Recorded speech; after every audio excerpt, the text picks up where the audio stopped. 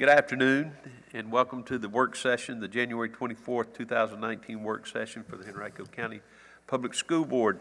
Members of the board, we've had a chance to review and see the agenda. Is there a motion to approve the agenda as presented? So moved. Is there a second? Second? It's been moved and seconded. All those in favor of approving the agenda indicate by saying aye. Aye. Any opposed? Motion carries, the agenda is approved. The first thing we'll do, welcome to everyone, I should begin with that. Welcome and thank you for spending your afternoons here with us, uh, as though you had a choice. Um, But thank you nonetheless.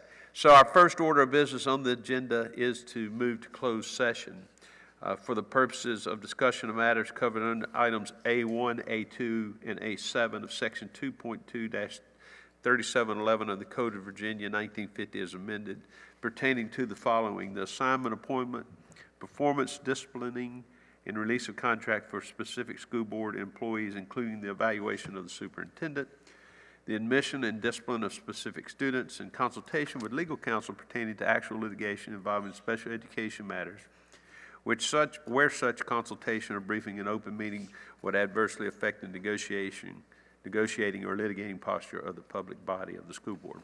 Is there a motion that we move into closed session for those purposes? So moved. Is there a second? Second? All those in favor indicate by saying aye. Aye. Any opposed? Ayes have it. We'll now reset, or move to closed session. Thank you. Good afternoon. We'll reconvene from uh, having been in closed session. Members of the board, um, is there a motion to certify that only those matters that were identified in the motion uh, moving us into closed session were discussed? So moved. It's been moved by Reverend Cooper. I'm trying to do it right, sorry. Is there a second? Second? It's been seconded by the rest of the board. All those in favor indicate by saying aye. Aye. Any opposed? Ayes have it. Thank you. Madam Superintendent? Thank you. For the first item, um, we have Andy Jenks here, along with the 2018 Christmas Mother, Angela Harper, to provide a report that reflects um, Henrico County Public Schools' contributions. Um, And so we'd like to turn it over to them. All right, good afternoon, Mr. Chairman, members of the board, and Dr. Cashwell. We are pleased to share with you the overwhelming results of the 2018 Henrico Christmas Mother campaign. Students and staff enthusiastically participated, contributing $12,200 worth of monetary donations, new and gently used books valued at $6,800, toys, apparel, toiletries, and other gifts valued at $25,624, and approximately 121,000 food items were collected, valued at more than $184,000. As you know, every school is encouraged to be creative and participate at a level of their choosing, and while we certainly don't consider it a competition, we do appreciate and celebrate the impressive efforts. The spreadsheet of school totals is there for your reference, and we want to give just a brief shout out to a few of the folks who you see in your materials. In the Brookland district, for example, Glen Allen High School collected more than 11,000 travel sized toiletry items. Ratcliffe Elementary in the Fairfield district collected just over 1,000 cans of food. Pocahontas Middle School in the Three Chopt District collected money, food, and gifts valued at more than $13,000. From the Tuckahoe District, Godwin High School students donated more than 43,000 food items. And Seven Pines Elementary School in the Varina District reported 1,944 cans, with 1,000 of them coming from a single student who engaged friends and family in that effort. This collective spirit of giving resulted in an overall donation total of $228,686, surpassing the 2017 total by $48,000. It is certainly evident that this annual tradition of neighbors helping neighbors is developing students to be global citizens by gaining an awareness of the needs of others, allowing them to be active participants in meeting those needs and directly impacting the community in which they live. At this time, I'd like to recognize the 2018 Henrico Christmas Mother, Angela Harper. And Angela, on behalf of all of Henrico County Public Schools, thank you for the, excuse me, for the time that you've invested and uh, spent educating students on how the donations are organized and how they make their way to the Henrico families who are receiving assistance. It is a vital part of the process, and we will turn it over to you now to share some remarks. Well, thank you very much. It is an exciting time. Uh, Good afternoon, Mr. Chairman, members of the school board, Dr. Cashwell, and all present. On behalf of the Henrico Christmas Mother Council, I thank you for the support that you, the students, the parents, the teachers, and all staff provided that resulted in the amazing increases in donations this year. The number of food items increased by 25% over last year, and the total value of all donations increased 26%. This is astounding to me and to the council. I had the opportunity to attend many school assemblies and was impressed by the enthusiasm of the students to giving to their Henrico neighbors in need. Thank you for providing these opportunities for Henrico students to understand that they are people in need in their own community and to be a part of participating in helping their neighbors from kindergarten through their senior year. Who was helped this year? The total families receiving help were 1,431, with 4,190 individuals in those families. The total children, which would mean from birth, not just school-age children, but from birth through seniors in high school, uh, were approved were 2,271. Their families received food, clothing, books, and toys for the children. Your donations also helped our senior adults and our disabled adults. There were 726 adults who received gifts and food. The council members especially appreciate the equity ambassadors who came to the warehouse on November 30th and helped prepare for shopping days. The council gave one outstanding achievement certificate to Olivia Stegler, a senior at Deep Run High School. Olivia founded It's a Wrap two years ago, and over the past two years, she has gathered 2,400 rolls of wrapping paper that are given to our clients, and those wrapping paper rolls make it possible for the recipients to wrap the presents so they can be hidden until Christmas Day. Because of the partnership we have with Henrico County Public Schools and Henrico County General Government, the Henrico Christmas Mother can provide food and gifts to make the holidays happier for our families. Thank you so much and happy 2019.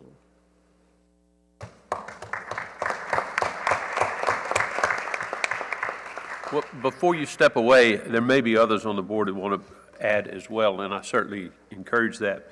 But you, one of the words that you finished with was the partnership, and uh, it truly is a partnership. Uh, You know, we, we often talk about the Henrico Way um, in a very, in a lot of different contexts, but there is no greater context uh, in which it applies than this. And I know you've seen it for many years uh, and now for an opportunity to, to see it from this perspective and also to lead it. And your leadership uh, has been uh, remarkable and greatly appreciated. And we are proud to be um, a partner in the partnership of which you lead. So uh, you, you've done a remarkable job, and it uh, is just amazing uh, the students and the faculty and everybody who responds. Uh, But the effort, in fact, uh, is, is remarkable as well, and we sincerely thank you for that. Well, thank you, and we are blessed to have many volunteers that help us. Not only do the donations, people donate their money and others, but they donate time too. We have people from the whole region that come and donate their time. Our service organizations, for instance, Micky Ogburn's uh, Association, I spoke to her group uh, before, and I know that Trinity United Methodist Church, where Mr. Pike is very active, all of them are part of the solution, the way we are able to help so many people. But the volunteers, it takes about 600 volunteers throughout the year to do it. So I'm just the spokesperson for a year. And um, as, and I follow in the trail of 76 previous spokespersons. So it is a wonderful opportunity to help, and thank you so much. The Henrico Way is alive and well when it comes to Henrico Christmas Mother. Thank you. Thank you. Mr. Miss, yes, Miss. And being one of those 76 that followed you, I have to say that uh, Mrs. Harper, Angela, has done a wonderful job representing the council this year and demonstrating to our students how to be servant leaders. And that, that is one of the, the best aspects of this partnership, is to really have our students to reach out and to understand what it, what it means for the true spirit of giving during Christmas. So thank you so much. I know you were in a lot of schools, and um, I saw you everywhere, but you are, were a wonderful face and a wonderful leader for our group, the Henrico Christmas Mother Thank you. Council. Thank you. Very much so. Thank you. Thank you, Angela. Well, thank you very much for that, and it's, it's a, it's a great way to uh, kind of wrap up last year, calendar year, and as we lead into the next calendar year. So, um, Madam Superintendent, the next item of business is under your um, category as well. It is, thank you, Mr. Chairman. The superintendent recommends that the school board approve the expulsion of student case number 18-19-S-6 for violation of the Code of Student Conduct, and of course, names of students are protect- protected under the Virginia Freedom of Information Act. Thank you, Madam Superintendent. Before we entertain a motion, I just would note, as we always do, that the students that we're going to be considering and will be considering by a uh, confidential student number, that these cases have been considered not only today, but also the materials provided ahead of time, and uh, it's um, with great seriousness that we consider the recommendation of the superintendent. So, uh, Board members, you've heard the recommendations of the superintendent regarding case number 18-19-S-6. Is there a motion regarding uh, the superintendent's recommendation? It's been moved by Ms. Cocke that we adopt the superintendent's recommendation. Is there a second? Second. Second by Mrs. Ogburn. All those in favor indicate by saying aye. Aye. Any opposed? Ayes have it, the motion carries.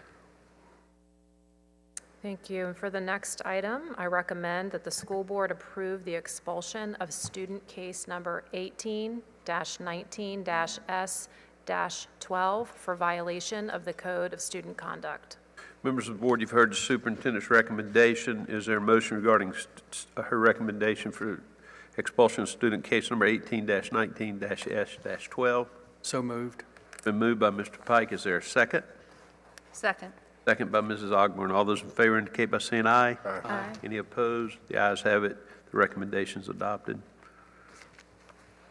In addition, I have another recommendation for expulsion. I recommend that the school board approve the expulsion of student case number 18-19-S-13 for violation of the Code of Student Conduct. Members of the board, you've heard the superintendent's recommendation regarding the student. Is there a motion? So moved.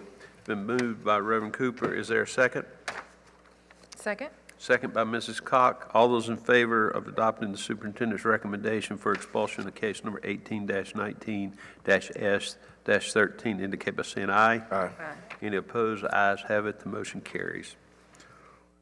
Thank you. For the next item, the superintendent recommends that the school board approve participation in the Grad Center for student case number 18-19-S-6. Members of the board, you've heard the superintendent's recommendation regarding uh, s- student 18-19-S-6 in participation in the grad program. Is there a motion? So moved. It's been moved by Mrs. Augmiron. Is there a second? Second. Second by uh, Reverend Cooper. All those in favor indicate by saying aye. Aye. Any opposed? Ayes have it. The motion carries. Thank you. The superintendent recommends that the school board approve the appointment of administrative personnel for the 2018-19 school year. Thank you, uh, Madam Superintendent. Members of the board, we've had a chance to review the superintendent's recommendation regarding these administrative appointments. Is there a motion regarding uh, adopting her recommendation? So moved. Been moved by Mr. Pike. Is there a second? Second? Second by Mrs. Cocke. All those in favor indicate by saying aye. Aye. Any opposed? Ayes have it, the motion carries. If you would provide those uh, names, please, for Yes, us. thank you. The board has just approved Adam Beefield, Capital Projects Manager, as well as Aaron Brooks, Capital Projects Manager. And um, both individuals, I believe, will be introduced um, at this evening's monthly meeting. Okay, and at that time, we'll make sure, uh, obviously with the ambitious uh, construction and maintenance program that we always undertake, but we currently are uh, accelerating, uh, those folks will be greatly needed and put to work right away. So thank you for that. All right, thank you. And for the next item, I am pleased to share with you the proposed annual financial plan for fiscal year 1920, which represents the division's next step in investing in our students, staff, and schools. And I believe you'll see that we've been able to develop a responsive budget proposal that continues to meet the needs of our students, their families, and our community stakeholders while pursuing our school board's vision that all of our students have the support they need to be successful. And so the development of a budget like this is only possible through the hard work of many schools and county staff. And before um, I have Mr. Sorensen come to the podium to present um, the proposed annual financial plan, I would like to publicly recognize the tremendous effort that Mr. Sorensen and his budget team have put into the development um, of this product this evening. So kudos to you and thank you for the tremendous effort that's gone forward to bringing forth this proposal today. Thank you. Mr. Sorensen? Yes, ma'am. Thank you, Dr. Cashwell. I, I would like to echo that, uh, if I could, real quickly, please, before into the presentation. Uh, the back two rows, the budget and finance staff, uh, these guys have put in a tremendous amount of work to get this, this budget done to, to present to you today. Actually, you could say everybody on the- on this side of the room has answered probably at least one budget question throughout this process. and Really provided a lot of help. It takes a lot of people to put this together. So I would like to thank everybody for all their help. Uh, Mr. Chair, members of the board, and if I can go into the budget presentation, it is a pleasure to present this to you today. And I want to walk through, uh, what I'm going to talk about today is the general fund budget highlights. We'll talk about the county target, uh, one significant reallocation of existing funds, then we'll walk through uh, a couple summary slides. And also, of course, talk about our special revenue fund budget. We get many requests in during the budget process. All of them are good ideas. All of them would help our students, but we really need a way to prioritize those requests. So we do turn to our cornerstones, and that is a great tool to help us prioritize what should move forward or what we should recommend uh, the superintendent include in her budget. So uh, we we do refer to those throughout the budget process. Uh, The budget process, this slide talks about some of the ways we we gather input for this presentation. We do go out in the community and hold stakeholders' input meetings. We have one in each magisterial district. And of course, you guys have a couple of public input sessions as well during your meetings. So I mention those things because they are specific to the budget process. They are certain venues we do just during the budget process, but we're constantly collecting input. Um, When the principals meet with their directors, that oftentimes floats up to DLT. The budget office makes a note of those. When board members contact staff about a call from their constituents, we also record that information too, so we can bring it up in subsequent budgets. So we're always uh, collecting information for this process. Once we have information, we do work with the, with the county and school staff, as Dr. Cashwell just mentioned. That is a continuous conversation back and forth. It's been going on for several months now. And then ultimately, it goes to the division leadership team to, to look at all this information and work with the superintendent to uh, have her make her proposed budget. Enrollment, of course, is a very important piece of, of our budget. Uh, Much of our state revenue is based on our enrollment projection on a per pupil basis. And then on the expense side, of course, we do staff based on our projected enrollment. We are projected in 2000, for the 2020 budget, uh, pretty much a flat enrollment, down four students. And actually, the next several years, after 2023, we are showing a slight decline in our enrollment, so it's pretty flat the next, next several years. So let's talk about the budget in detail now. We do have four operating funds. They're in the left column there listed down the page, the general fund, debt service, school nutrition, and state and federal grants. If we can go over to the 2020 proposed budget, we are proposing a total financial plan of $621.9 million. The largest piece of that, of course, is the general fund budget at $505.5 million. It's a 4.2% increase over the current year's adopted budget. The debt service budget is also going up by about 10%, so that we have to pay the debt on the bonds that we've issued uh, for our construction projects. Uh, School nutrition, I do want to talk about that for just one second. You will see a decrease of 10.4% in school nutrition budget. So one of the advantages of having a new employee come into a position is they ask a lot of questions and look at things. That's exactly what's happened in our school nutrition program. We do have a new finance person over there. She has, has gone in and asked a lot of questions. And she's looked at our spending patterns compared to what we budgeted. We simply aren't spending what we budgeted in prior years. So we've taken an effort to realign our 2020 proposed budget request with what we've been spending in, in prior fiscal years. And finally, state and federal grants, I'll walk through some of the highlights in those later in the presentation, but we are proposing a 5.3% increase in our state and federal grants. Again, a total proposed budget before you of $621.9 million. The last line of that, Code RVA, um, so Code RVA is its own school board, makes its own decisions, has its own budget, but we do want to include that on this slide because we are the fiscal agent. So we will actually load their budget into our accounting system. So we just wanted to disclose that that is the Code RVA's budget. You guys do not take any action on that. But before you leave that slide, a couple of things. On Code RVA's budget, that $661,000 increase, is, is that represent the fact that this is the last year of, I think, of a new class coming in? It does, yes, sir. A no- a new year, a new year group, not a new class, but a new year? That is correct, yes, sir. Okay. And then on school nutrition, the, the question I have for that is that it's always been my understanding, school nutrition's a, an enterprise fund. It, it pays for itself, for the most part. Yes, sir. So if we have, if we have budgeted, is it that we haven't received as much revenue as well as what we budgeted, or have we had surplus? How- Can you fill in some gaps for that for me, please? I'm glad you asked that. So it, it is, it is a self-sustaining fund. Um, So we simply haven't received the revenue, nor have we expended the funds in, in that account. Okay, So in fact, we, we've had a zero budget there. Absolutely, yes, Okay. sir. So I, I should have said earlier, this has no impact on their financial standing, has no impact on what we charge our students for lunches. It's simply the budget has contained more revenue than we've collected and more expenses than we've expended. Okay. But we do have a very sound fund balance in that program. It has no, ba- no impact on their financial standing. Okay. All right. These are just two pie charts, really just graphically showing what I, I just walked through. So on the left side of the page is 2019, on the right side is 2020, and again, there's the $621.9 million I just walked through in the previous slide. And it does show certainly that the general fund is the largest of our operating funds, at about 81% of the total budget. So because the general fund is so large, I would like to walk through each item that's in, that we've added to the, to the proposed budget. Uh, we did try to put it in four different categories, so it's a little easier to walk through. So this is the employee compensation and benefits category. You see three items on there. Health insurance, this reflects about an 11% employer share increase to the budget. The compression study, uh, we presented to you guys last month about the, the findings of the compression study. We do have $3.8 million in our, our budget for that. And would like to remind you, this is the first phase.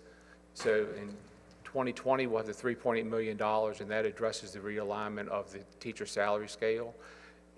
In 2021, our plan is to move forward with, with career ladders. So again, this is the first phase of that process. The last item in there is salary reviews. We, we continually look at uh, people's workload and their salary to make sure they're in line with one another. So we wanted to add some money to our, our budget so we could go forward with a more, more, uh, better funded system and more systematic process to address those salary concerns. That's seventy-five thousand dollars. Uh, Before you leave that, so that, that's not a, that's not compensation or benefits, that's operational funds to study compensation. No, I'm sorry, it is, it is compensation and benefits. We, we call them desk audits. Okay. So we'll go through and, uh, people that we think may have had additional responsibilities placed on them throughout their tenure with the school division, we'll go back and review those responsibilities to make sure it's in line with where they're, they're, they're graded in our compensation scale. So this seventy-five thousand dollars would be used to, to, to right a wrong, if you would, to, to even, to improve a salary to Yes, sir. reflect the response? Okay, so Yes, it sir. does go, it's not a, it's not a cost of a study, it's Not a the study, it's result of a. actual compensation to employees. All right, so we, so it's, as things stand right now, uh, the employee benefit side of things, in addition to any raises. Correct. Or anything else, is going to see a, a net increase of eight point eight million dollars. Yes, sir, that's correct. Okay, And then as you suggest, there is a footnote on that page that later on in the budget process, we'll, we'll learn more about what pay raises may or may not be given to all okay. employees. But before we even get to that place, there's an increase of eight point eight million dollars. Yes, sir, that's correct. Okay, thank you. So the next category we want to walk through, it's a long title, but it's teacher classroom supports and pupil-teacher ratio reduction. Um, So there are two pages, two slides for this, so kind of want to walk through some of these items. The first line, the $3.2 million, if you recall, this fiscal year after the budget was adopted, the Board of Supervisors came back and provided $3.2 million. So the plan would, they would provide $3.2 million in fiscal year 19, in fiscal year 20, fiscal year 21. The first line, excuse me, the first line on there, the $3.2 million, that's the amount in the current fiscal year, 2019, that we have to add to the base going forward. So we've already, as it indicates, 44 FTEs are associated with that money. Those positions uh, have all been filled and moving forward, most have all been filled and moving forward with that. The next 12 lines I'll, I'll show you is how we propose to use the, this year's, the 2020, $3.2 million. Generally speaking, it's $3.2 million, but basically, we- we're using a million six for that for PTR reduction and a million six for teacher supports. Okay? So the next line is PTR reduction, it's 11 FTEs, and we'll hold those throughout the summer, and as the enrollment comes in and gets finalized, we'll assign those teachers as, as we need to, to make sure we have appropriate uh, PTR ratios. You'll see several lines in here of elementary, I'm sorry, special education teachers or special education um, instructional assistants. The next two lines focus on teachers at the elementary and secondary level, six for elementary and five for secondary. Gifted Young Scholars Academy at Wilder, this is continued expansion of that program, four FTEs at $300,000. English language learner teachers, again, of course, that population of our students continues to increase. We want to enhance what we're offering those students, so we're adding three teachers in the category. The next line would be elementary special education instructional assistants. The final line on this page is student teacher res- uh, residents. So that's a program we're in with VCU where we hire provisionally licensed um, teachers that haven't done their student teaching. They come work for us with a year with an experienced teacher. And then after that one year, there is a, a three-year commitment to work for the school division. Before you leave that chart, so the last two items are both focused on uh, special education uh, students, correct? Yes, sir, they are. Okay. And the, um,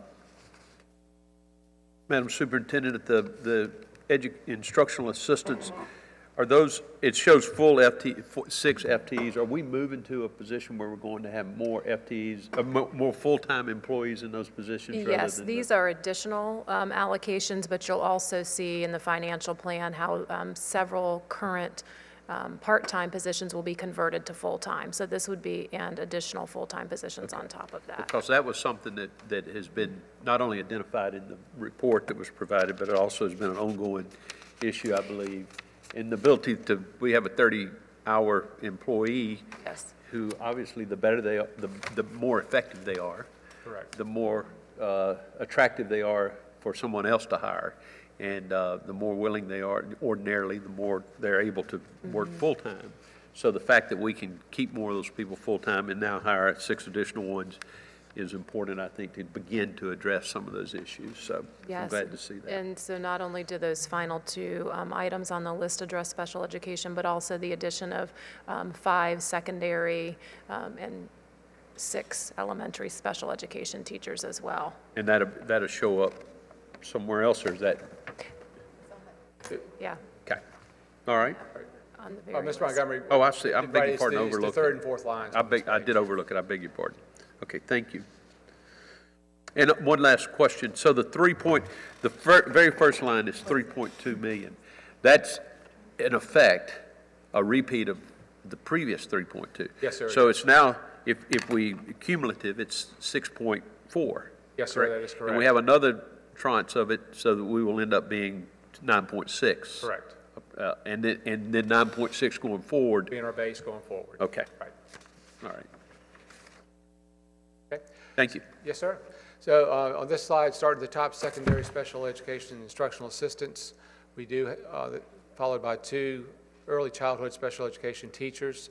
We're also proposing uh, two FTEs for school psychologists. One would be an intern. Also, in our Title I fund, we're paying for community engagement coordinator. Well, our work really goes beyond our Title I school, so to make sure we're in compliance with that grant, we're simply moving that position from Title I to the general fund. Early childhood special education assistance follows that item, two of those folks at $66,000. So the items I just read through, that's the 2020 increment of the $3.2 million. The one point six five, that's, that gets you to three point two million? Yes, sir, it does. Okay. Thank you. Yes, sir. Okay, so the last two items in this category, elementary planning period. So this is the second year of this initiative. We started it in the current fiscal year, 2019. Uh, In the current fiscal year, we had, again, about 22 FTEs. Most of those were STEAM teachers. So going forward, uh, we don't know if we will continue with the STEAM teachers or look at some of our other uh, opportunities in elementary school to provide a planning period for elementary school teachers. One of the areas that we're considering would be in the health and PE. So it's, it's possible that if we go down the health and PE road, instead of hiring all teachers, we could hire some instructional assistants to the mix. That would allow us to stay within the million six on this slide, but because instructional assistants are uh, not as uh, expensive as teachers, we could roll out to more schools. So these are options that we're weighing moving forward. The initiative is alive and well to provide planning periods to elementary. It's just will we continue using STEAM, or is there another avenue that we can accomplish the same goal? Madam Superintendent. When will you um, bring forward your recommendation about how you're going to do that? I know we've had some conversations about it, but what's your timeline for making that decision? Very soon, uh, oh, I apologize, I didn't turn that on. Um, In the very near future. So we know that um, with that 1.6 million, um, our intent is to try to move beyond what was originally planned as a three-year phase-in for elementary teacher planning and try to move into potentially some of the schools that would have been identified for the third year. So we're working up some scenarios to try and stretch that um, just as far as we can. Um, So. And that's where some of the, if you were able to do something with the paraprofessional, you could. Because right now, that's, uh, that's seventy-five thousand dollars per for the twenty-two. Mm-hmm. And we've already seen, I think we saw on another line, we have a, uh, immediately above it, we have instructional aides at about thirty-three thousand dollars. And those are full-time too, correct? Correct. The, the two thirty-three thousand dollars. So you- Yes, sir. obviously, the, um, uh, of course, everybody else is doing the same thing, so the market's going to tick Yeah. up some. But nonetheless, it's a, And I think by looking at some alternative scenarios, we'll also potentially be able to accomplish another one of our objectives, which is to increase the amount of time our students spend in health and PE and physical education. So if we can do that um, in the same vein as working to advance elementary teacher planning, then um, that would be a positive. Thank you. There wouldn't be an additional Mrs. cost. Augmiron? Yeah, yeah, thank you, Mr. Chair. Um, How can our um, instructional assistants help with the health and PE? How do they fit in? Because you said some of them might be instructional assistants. How does that help? Like me to, I'll- I'm happy to speak to that. So um, this would allow um, a health and PE teacher to see more than one class at a time. So if okay. I'm a health and PE teacher, I might have two or three instructional assistants assigned to me to plan with me and work with me on health and PE. And so we might be able to receive, for example, two or three third grade classes at a time. Um, That allows all of those teachers to have planning, potentially some common planning, and then for um, us to be able to provide instruction. Okay. And I have just one more question on this slide. The equity and diversity operating budget, um, what's going to be covered by that expenditure? Right, so there, there would be some, some, some temporary help um, in that, in that area. Um, I think some secretarial assistance, but also supplies and program materials, ed- ed- educational pieces. Because we have some of the, the programs that we want to do, we just need funding to Okay. implement those programs, and do the education pieces and, out with our students and staff and community. Okay. Mrs. Cocke? Um, Thank you. Does that include personnel? I'm not sure if it was personnel, human resources as well? It would, it would include some, some, some help for her to Okay, good. yes. It's- It, it is not a full-time position, just some, just some assistance for her. Anyone else?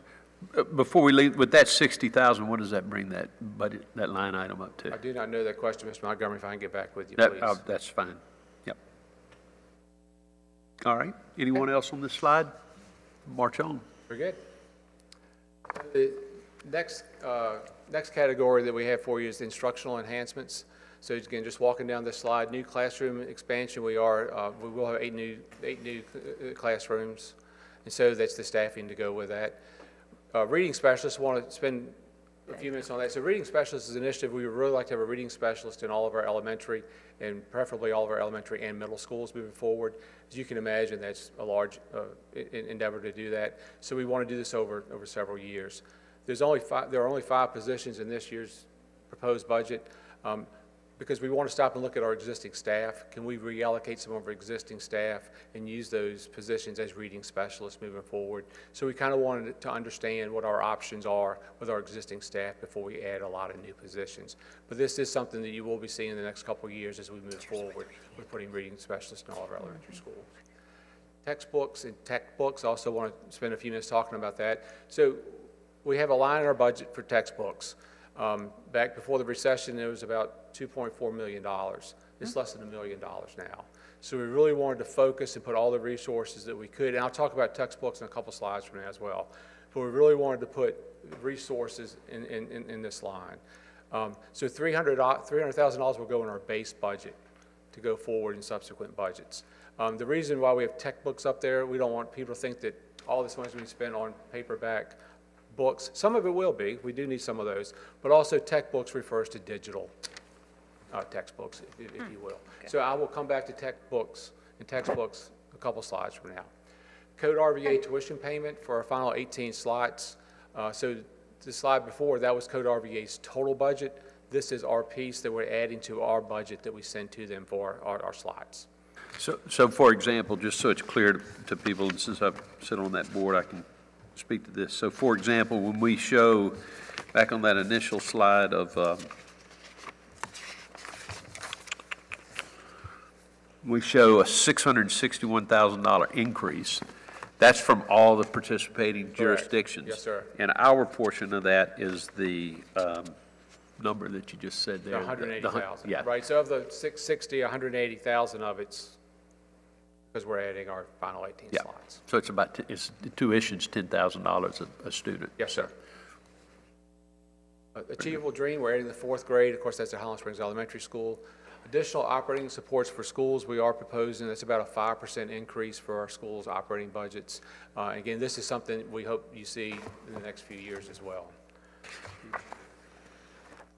Henrico Education Foundation Innovation Grant, so, so HEF currently offers grant, teachers can apply for grants for different ideas they have to improve in instruction in their classrooms. HEF funds those grants.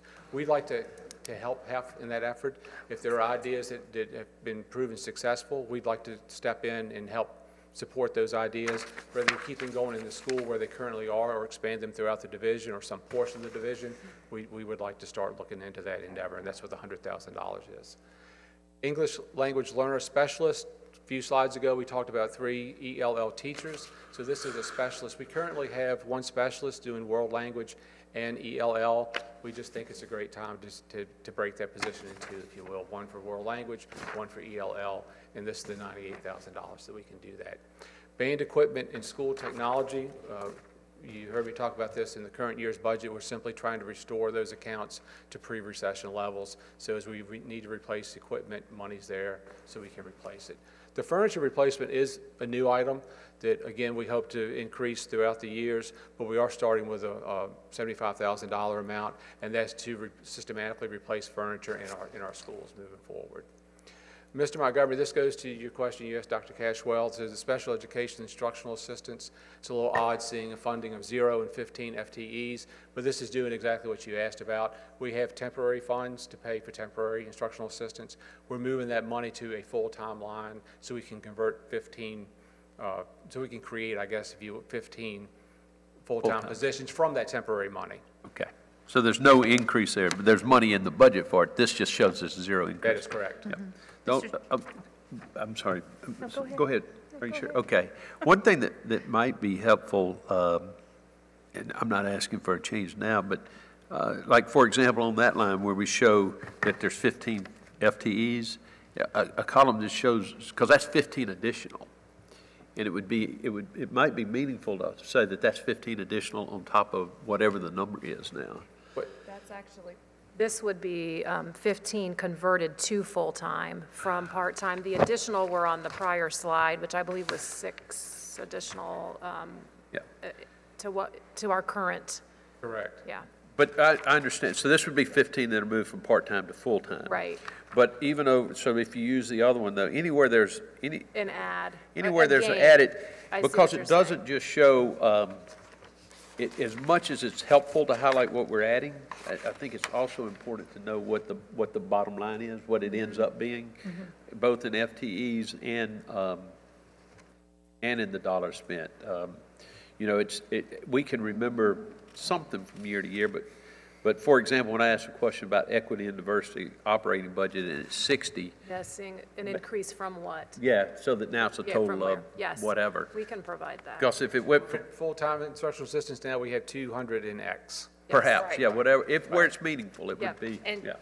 In We the- can do that. yeah, we And put frankly, it- I think it would be helpful to the, to the public as mm-hmm. well, too, because more transparent. unless you're, unless you're really focusing on the fact that this is additional, if you just happen to come across this slide, it doesn't paint the full picture of, of the robustness of a particular program such as, uh, uh, instructional assistance in special education. Just a thought. So, I'm sorry, Mrs. Ogburn, you had a question. Abs- I do, thank you, Mr. Chair. Um, The Henrico Education Foundation Innovation Grant, that line, um, I sit on the HEF board, and this is something that's come up several times. And basically, just for anybody that needs an explanation, um, there are grants that HEF has, has done over the years that have recurring costs, but there are also some grants that they're looking at. Should the school system take over those grants because they're now becoming more commonplace, which is what I'm hoping is, is part of this as well. For example, a number of schools are asking for maker spaces, a number of schools are asking for so many things that they're not innovative anymore. They're almost standard and things that um, schools should have. So the board, um, approached me, approached Dr. Cashwell, we began to have this conversation, so we passed it along to see if we could fit it into the budget. Um, and, and I think that this will allow HEF to really stick to what it, i- what its mission is, which is being innovative and supporting teachers and trying new and different things, and um, will help spread the wealth a little bit. And then we take on the charge of continuing the good work that they've started. So I'm really glad to see it there. Um, I think that will help their mission quite a bit. So thank you for that. Uh, Mr. Montgomery? Yes, Mr. Pike. I think it's great uh, that we've got those replacement categories in there, that they've been put back in. That's really important. Uh, Do you know how that, um, how they will be dispersed? Um, I, I, I do not know how they'll be dispersed, but I'd be glad to get that answer for you. I'm just, you know, thinking, uh, we have a lot of conversations about equity. Correct. And as we take a look at the school system, we know that there are a lot of needs out there. Uh, So it just, would, just a little bit curious about that, but glad that they're back in there. Certainly, I- I'll, I'll I'll get that information to you. Thank you. Yes, sir. Anyone else? Very good, thank you. right. March on. So the last category is operations enhancements. Uh, Talked about, we just approved the two, two appointments for construction project managers. Those positions are currently, in 2019, being paid out of the capital budget. We're going to move those to the operating budget in 2020, and that's the $225,000 that we believe we need to do that. Bus drivers, um, you know, communication with our parents and teachers is really important when a bus may be a little behind schedule, or a bus breaks down, a bus number changes. So we really want to have dispatchers in place so we can keep that line of communication open with parents in, in schools, um, to let them know what's going on each morning and afternoon with their, with their students. Central automotive maintenance, that's, uh, the, the the county performs maintenance on our fleet. The county, they are raising their hourly rate. They provided us the differential for that hourly rate increase of $187,000. Construction coordinators, that goes with the construction project managers. You know, we talked about the three schools coming online shortly. And so with, with all the ongoing work the construction maintenance has, uh, we really felt we needed to give them all the support they could to make sure they got their schools open. And we're very confident with the work, uh, this, already talked about another referendum, with all the meals tax projects, we're very confident that there's work to keep, keep them going uh, after these schools open. Contract lease increases, we just went through the budget in all different areas to look at our contracts and the in- inflation uh, kicker in those contracts. It's $172,000 to keep us whole with our existing contracts. Compliance officer, this would be in HR. So when we have a compliance issue or, or an investigation that needs to be done, we're really dividing that responsibility between HR staff, between DLT. We really need to have somebody that can devote all their time to working on compliance issues and some of our HR investigations, and that's what this position would do. Payroll benefits and FMLA specialist. So the couple things with this position, um, when an employee goes on FMLA, we really want to enhance the service that we give that employee. And it, it- oftentimes, it's a traum- traumatic time in their life. We want to give them support and help working through the process. So that's one piece of this position. The other piece is that we are moving forward on a, on a, a more frequent pay cycle. And so this position will certainly help uh, fill the gap in the payroll office as we pull resources away to help the implementation of a different pay cycle for our employees. And finally, EpiPens. EpiPens is something we need to, to have in stock. They're several hundred dollars a piece. We just wanted to add money to the base budget to make sure we, we have the funding to replace those on an annual cycle. Mrs. Cocke? Do we have those in all schools? Is that what this is set up for? I believe the answer is yes, but I'll make sure that's true. Thank you. Anyone else? But before you leave that, uh, you mentioned the uh, increase in pay, in the frequency of the pay cycle. Yes. So that- since we, since it's part of the record now, could you tell us a little bit more about timing on that and what's going to happen? Well, we're still working out the, the, the details with our, our counterparts at, at the county. Well, tell us what you know. I'll tell you what I know. We are working towards, our goal is to have a semi-monthly pay cycle, so employees, Did did you say semi-monthly, twice a month? I did say that, yes, sir. Outstanding. Yes, sir. Um, So our goal is to have a semi-monthly pay cycle implemented by the end of the year, the end of the calendar year, calendar year. End of, in- so in December 31, 2019, to begin January 1, 2020? Our goal, yes, sir. That's our goal? Yes, sir. To have two times a month payment. Excellent. There, there, I will, I do, I do have to have this caveat, uh, if I could, please. No, that's, So- you're good. so- You stop there. You're fine. So there is some discussion, the county pays on a biweekly cycle, so there's some discussion if we need to go with their biweekly cycle. That certainly complicates the issue a little bit, mm-hmm. but we think we're at a point where we can go forward with semi-monthly, but we're still working on those details. So it's just a difference of pay frequency, uh, uh of, of pay, there's 26 if you pay Well, every, uh, if we were all 12-month employees, yes, it would be that simple. Right. But because we have 10-month contract, 11-month contract, it is not, is not that easy. Right. And so we're trying to work through those nuances with the county. We do think we're at a place we can go forward with semi-monthly, but, but we're not quite there, but that's what we're working towards. okay, good. Well, thank you for that update. I know there'll be other people that are glad to hear that as well. Indeed. All right, thank you. Anyone else on this particular slide? All right. All right? I think I've said enough on that slide, if we can.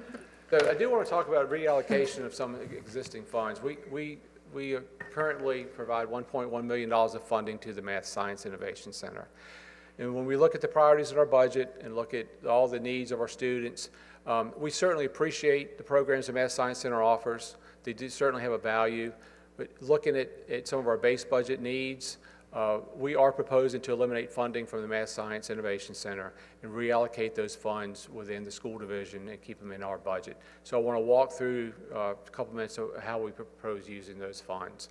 So again, if that chart shows $1.1 million for the Math Science Center, we would take those out, and we would use $600,000 for tech books, or textbooks, and $500,000 for technology infrastructure. So what our plan is, over several years, we want to build that textbook fund back up to where the pre-recession levels. So what we're proposing to do, I talked a couple slides ago about the $300,000 in our base budget. We want to supplement that with $600,000 from the Math Science Center. So in 2020, we'd be putting $900,000 additional dollars in textbooks. We would plan to do the same thing in 2021. So that leaves us $500,000. We want to use that for technology infrastructure and laptop fee reduction. So we would use the other $500,000 in 2020 and 2021 to go towards our technology infrastructure. That would allow us to reduce our laptop fee from $50 to $25.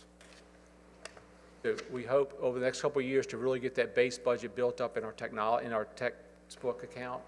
And then we take the whole $1.1 million and put it on technology infrastructure and eliminate the laptop fee in 2022.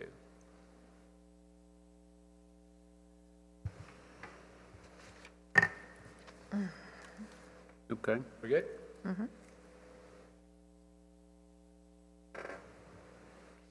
So I just want to summarize some of the, the general fund items I- I've been through. Uh, You guys have seen these charts probably every budget presentation. The one on the left is 2019, the one on the right is 2020, and these are the categories in which we report our expenditures to, uh, to the state. Um, So we would always like to see instruction, the biggest piece of the pie, and clearly it is the biggest piece of the pie. It's increasing from 19 to 20. from 75.7% to 76%. Um, So you can see the different categories there uh, of how we are proposing to spend our money in 2020. General fund revenue, uh, we'll have more information on this slide later on in the budget process. Currently, the slide on the right, FY 2020, shows uh, the, a target increase. That target increase is the green, the green sliver, and it's not divided between county and, and state. Um, So we will do that later on in, in, in the budget process. But these, these slides, even with that caveat, these are what you would expect to see in any school division budget. The locality and the state are going to be the two largest funding partners. So we spent a lot of time on, on, on the general fund because that is such a large piece of our, of our budget, but I do want to walk through special revenue, if I could, for just, just a minute, please. So special revenue fund is really uh, primarily our federal and state grants. Uh, most of these funds are associated with a specific use, so when we get the grant, the, the grantee tells us, the grantor tells us how we need to use those funds. So the first two bullet points I do want to spend a minute or two on to talk about. We do, we are proposing a new fund in our special revenue funds. It's the Special Education Regional Classroom Grant. So the Department of Education historically has, has funded special education regional programs. Region 1 has never been a, a part of that. It's pretty much in Eastern Virginia and Northern Virginia. The state is stepping away from that, that funding, that, that program delivery and that funding model. Um, so what, what they're doing now is we have a regional classroom. We actually have two regional classrooms. Um, they're going towards that approach of a regional classroom versus a, a whole school, a regional uh, program. So doing that, they're trying to take some money from the, it's, it's, it's 59 school divisions that for years has had, uh, had this money. They're trying to wean those divisions off of some of those funds and make it available to folks like us who have never, never had access to those funds. We are budgeting about a, a million dollars in 2020. Um, it's an evolving conversation with the Department of Education. In fact, we're meeting on it the first week of February to talk about a little bit more. Uh, at this point, we're not proposing to, to, to spend the whole million dollars. We want to make sure it plays out. But we are pretty confident of about $660,000. So we are proposing uh, 20 full-time instructional assistants. And this, Mr. Montgomery, goes back to what you were talking about earlier. You know, these are new instructional assistants that we could use to offset some of the, the, the temporary funds. It's different funds we're doing it in, but it's, it's, it's the same exercise. Um, so other grants, we are proposing about a million dollar increase in, in school improvement grant. These, we have a reserve for state and federal grants, so that we, it's just what it says, it's a reserve. We have money set there so that every time we get a grant, we don't have to come back and ask for a, a new appropriation. We've had it in our budget for a, a few years. But because we are having uh, success getting grants, we are asking for an increase in, in that fund. Increase in the Advanced College Academy program, this would be state revenue based on our, our participation. We are proposing a decrease in the state technology grant that would align our budget with our spending pattern. And we are proposing a decrease in the laptop fee collections because we're taking money from the Math Science Center and using those funds in the general fund. So it's an offset in the special revenue fund. And then finally, uh, we do we are proposing um, a change to the VPI Plus and VPI programs just based on uh, the, the, governor's proposed budget. We are also proposing a grants account that would be paid out of the indirect cost account. Most grants provide us a percentage we can have for indirect costs, the, the, cost that we spend to manage those grants. So we have enough funds in that grant. We're comfortable uh, asking for an accountant to help manage our grants. So, you know, just talked about we're increasing our reserve because we are getting more. We want to make sure we follow all the rules and regulations of those grants. We're asking for an accountant to do that. And then just one, one last bullet point to, uh, for transparency that we are realigning the school nutrition budget to be more in line with historical uh, revenue and expenditure trends. Are there any questions before we talk about next steps? The, the only, it's not so much a question as observation. If you, if we, since school nutrition is a, is a standalone fund, if you will, and since our, we're showing a $24 million, $24,150,000 increase that also represents a $2.6 million decrease. If you completely take out school nutrition, so you take it out as a reduction and as, as a line item, we're actually showing a, an increase of, of about four, and, over four and a half percent versus the four percent. So it's a, it adds, I mean, since that's, it sort of stands alone. Right. And, and it, often it may have shown us, made it appear that we had a bigger increase. Correct. But in this particular circumstance, since we're reducing it, it actually has a reduction to the bottom line. So I think, of- of- of- while it should be, it's reported correctly, I think it's very accurate to say that the, that the direct support to students outside of school nutrition, because that's certainly direct support, but is in- seeing an increase of 4.6 percent, so, which is significant. Yes, So. Got to count every one of those percents we can. Absolutely. So, okay, good, thank you. All right, and I can just walk through the, the next steps with you guys. Uh, January 24th, obviously, this is where we are today, the presentation of the budget. On January 30th, staff will present the budget to the county manager and his staff at the county government center. On the 14th, you all will have a, a, a public hearing. February 19th, we will present the budget to uh, TAC. February 28th, the budget comes back to you all for approval, and then it goes to the county manager for inclusion in his budget. March 20th, we have our legislative review with the Board of Supervisors at, uh, at 9 o'clock that morning. April 9th, the county has their public hearing. The 23rd, the Board of Supervisors will adopt the budget. It will come back to you guys for adoption on May 9th, and then the fiscal year will begin on July 1st. And while you all look at the dates, if I could just add, I think the budget staff gave you all lots of reading material, a book of, of detail, um, a flyer that we can give out. It really, it does a nice job summarizing the budget. It's a two-page flyer with the superintendent's message on it and some charts and basic budget information. And then, um, another summary budget document to go through. So, uh, of course, please look through those and let us know if you have any questions. We will get, get right back with you to make sure you're comfortable with what's, what's been presented to you. Mr. Montgomery? Yes, Okay. So I know in a little while, we're going to be talking about our salary compression. Um, But I think that, I think our teachers and our staff really want to know where we stand on raises um, and what our thoughts are. I know that we, it's a little early for us to know that percentage, but I think that they need to know that we as a board support raises and are working in that direction. And can we speak to that a little bit? certainly. I've, Oh. um, our Sure. Superintendent wanted to. Sorry. Uh, Yeah, I think there are a number of ways we can communicate, um, though it is early to take a stance on a final um, position with raises.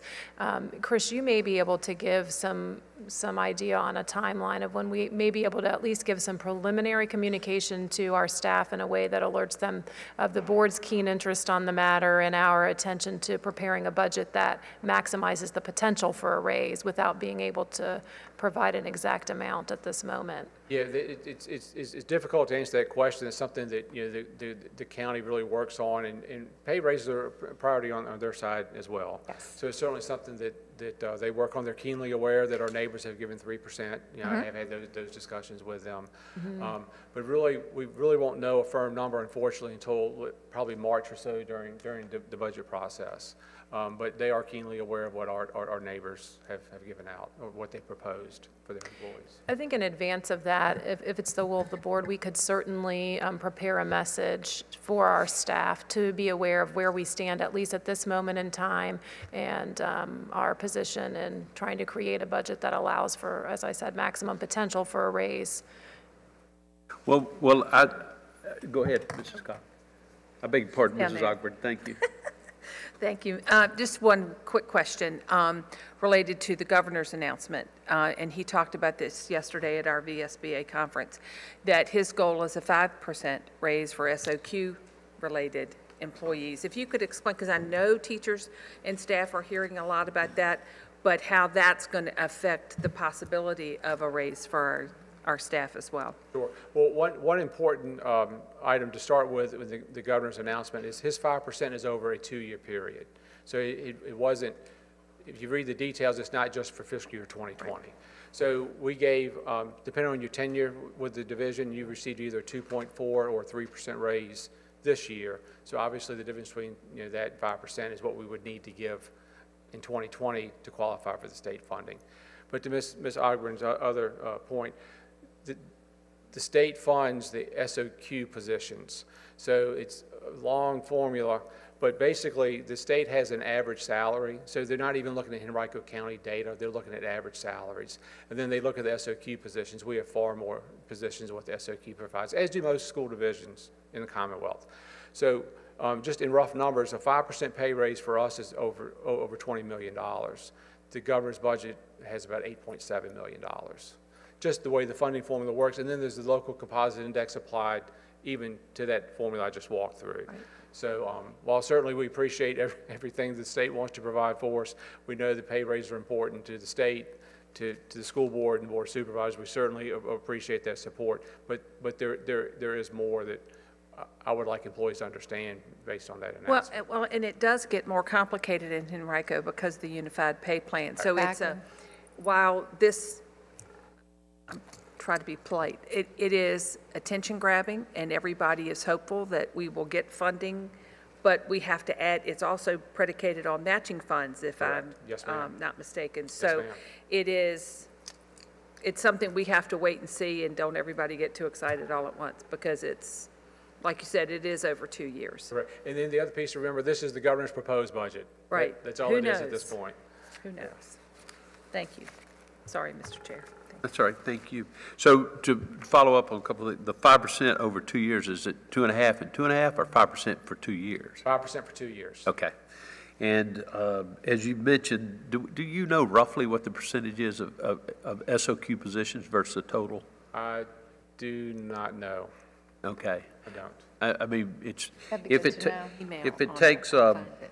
I if it takes twenty million dollars to do what we're getting eight point seven four, you can do, it's about two to one, or- or approaching two to one. Yeah, I think it's a little more, because the, the local composite index comes in on Right. it as well, so, yeah, there are lots. There's some nuances to it, but there's, correct. but there's a significant portion of it that even if, if, if- that is not addressed when the state provides uh, a, uh, an increase at the first place for the number of SOQ level uh, positions that we have. Secondly, because our, our salaries are, are al- almost, ex- are always higher than the state average. Correct. And then finally, because we have the, the county uh, unified pay plan, so there would be a, so if it costs 20 million on the school side, it's going to cost some significant amount on the county, general county government side. Correct, yes. So that eight and a half, that 8.7 million could, e- could extrapolate out to 40 million or so. Correct. Depending on how all the math works out. Right. So there's a, uh, the, the uh, matching is not a dollar for dollar matching. Oh, it If is we're not a dollar for No, dollar. it's not at all. So there's a significant outlay at the local level, particularly in Henrico County. Correct. To accomplish it. The good news is that it is Henrico County, and we, we, we're, um, uh, are good with our resources and strong in our revenues, so. But anyway, so that's a, as far as, I don't know what our, what our comments would be, other than we are for salary increases. uh, But we certainly, and we certainly, as we work with our counterparts at the, at the general government level, uh, I know they echo that as well, for not only the general government employees, but also for the school division employees, so. Mr. Chairman? And, Yes, and Mrs. that's Scott. exactly what I, I- I really want that out of here for today, you know, because I didn't want us to have no mention of raises when we all believe that our teachers and our staff deserve raises. So I wanted them to know that we are having those conversations and that it's predicated on several different layers, as you've expressed today. And I, I just want them to be in the know and um, to be aware that we're fighting for them and working on it. Yep, absolutely. So. Yep, thank you, thank you, Mrs. Cochran, thank you, uh, Madam Superintendent. So is there, um, did you want to, did you want to, you already provided us with sort of overview of the next steps. Does anyone have any questions about that? Does anyone have any other questions about the, the budget itself or the financial plan itself? Well, very good. I know that it represents a tremendous amount of work and tremendous amount of work yet to be done. Um, And so we appreciate it. We appreciate all of your team's work on that, on, on that, as well as the, the folks who are not in the financial shop and their efforts on it as well. So, so thank you. Thank you. Team Please. effort. Yeah, please take our uh, appreciation back to them for us. will. Thank So, you. All right. All right, thank you, Mr. Sorensen. All right, for the next item, we have an overview of the current class sizes at both the elementary and secondary levels, and Dr. Teigen is here to provide that overview. Good afternoon, Mr. Chairman, members of the board, and Dr. Cashwell. I am here this afternoon to share um, an update on our class size data for 2018-19 that's based on a snapshot that was taken back at the end of November. And in addition to sharing this year's data, you'll see data from, um, in some places, one, other places, two years back, so that you're able to see a comparison. So this table provides a summary of the number of elementary classes that are over 25 students by grade level. And as you see, the columns down, you'll see the grade level, the total number of classes we have at that grade level, and then the number of classes that are at 26, 27, 28, 29, up to 31. Um, That 31 is the maximum class size we have. The classes that you see up there that are 28, 29, and 31 are all zoned gifted programs that providing additional staff would just split that class in two, unlike when we have classes that are larger at across a fifth grade level, maybe it's going, that is impacting maybe four or five fifth grade classes. Um, So I wanted to make sure that I pointed that out to you. I, I think you should be very proud of the work that you all have done to lower class sizes because we only have 18 classrooms um, that are above 25 students. That's a reduction. Last year, we had 33, and so that's 15 less classes. And so I do think that we have made great strides, and when you consider the number of classrooms across our school division, um, that's amazing. Dr. Teigen? Yes. Mr. Chair, can I ask a question? Dr. Teigen, those uh, classes that are 28, 29, 30, well, there aren't any in 30 and 31, do they have an instructional assistant? Some of them have additional support, some don't. It depends on the, the school and the needs within that program. But the they're all class. zone gifted programs? They're all zone gifted, yes, ma'am. And two of them are at Colonial Trail? Yes, there is both a fourth grade and a fifth grade class at Colonial Trail. And you'll see that, I'll I'll advance to the next slide. Okay. Um, Here you actually see by school where those classes are. And so it has the grade level that's above 25 in each one of the, the schools that have classes that exceed that, what are, we would consider the optimum class size. We did add 11.2 FTEs at the elementary level this year to address class size. Um, And so you will see that that's one of the reasons, obviously, that we have fewer classes that are over um, 25 students.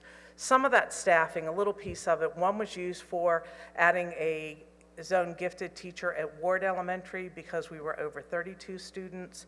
Um, And we also added the .2 fragment that's um, hanging out there was to expand the early bird math class so we could meet the needs of more students across the division. Mr., oh, I'm sorry. Go ahead. No, No, no, go ahead. No, you go said it and finish first. your. No, go ahead. Mrs. Cocke, I'll settle this. Thank you. I wanted to make sure she was uh, through talking about Colonial Trail. uh, 'cause I'm you- not, believe me. Okay, well, you know what I'm going to ask about, Glen Allen Elementary, which has the highest number of classes that are over 25. Um, We do have, of course, our four classroom addition that we will be starting next school year with. Um, And I really wanted to get an idea if that is going to take care of this. Are we going to be using those classrooms as needed to get these numbers down? Well, we'll conti, we'll continue to look even, not just at Glen Allen Elementary, but at all our schools with trying to get, you know, classes at 25 or lower. And so we'll be looking, we know that, that our enrollment level at elementary is starting to decline slightly. And so looking at repurposing some of the um, staffing that we already have at the elementary level too, to address the, the few hot spots that we're having.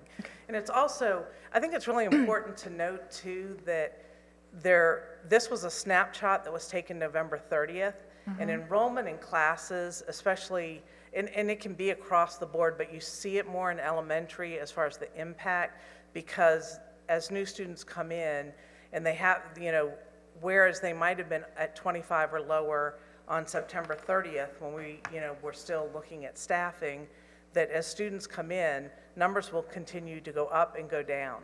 Some classes are now lower than they were when the snapshot was taken, but it's just one snapshot in time.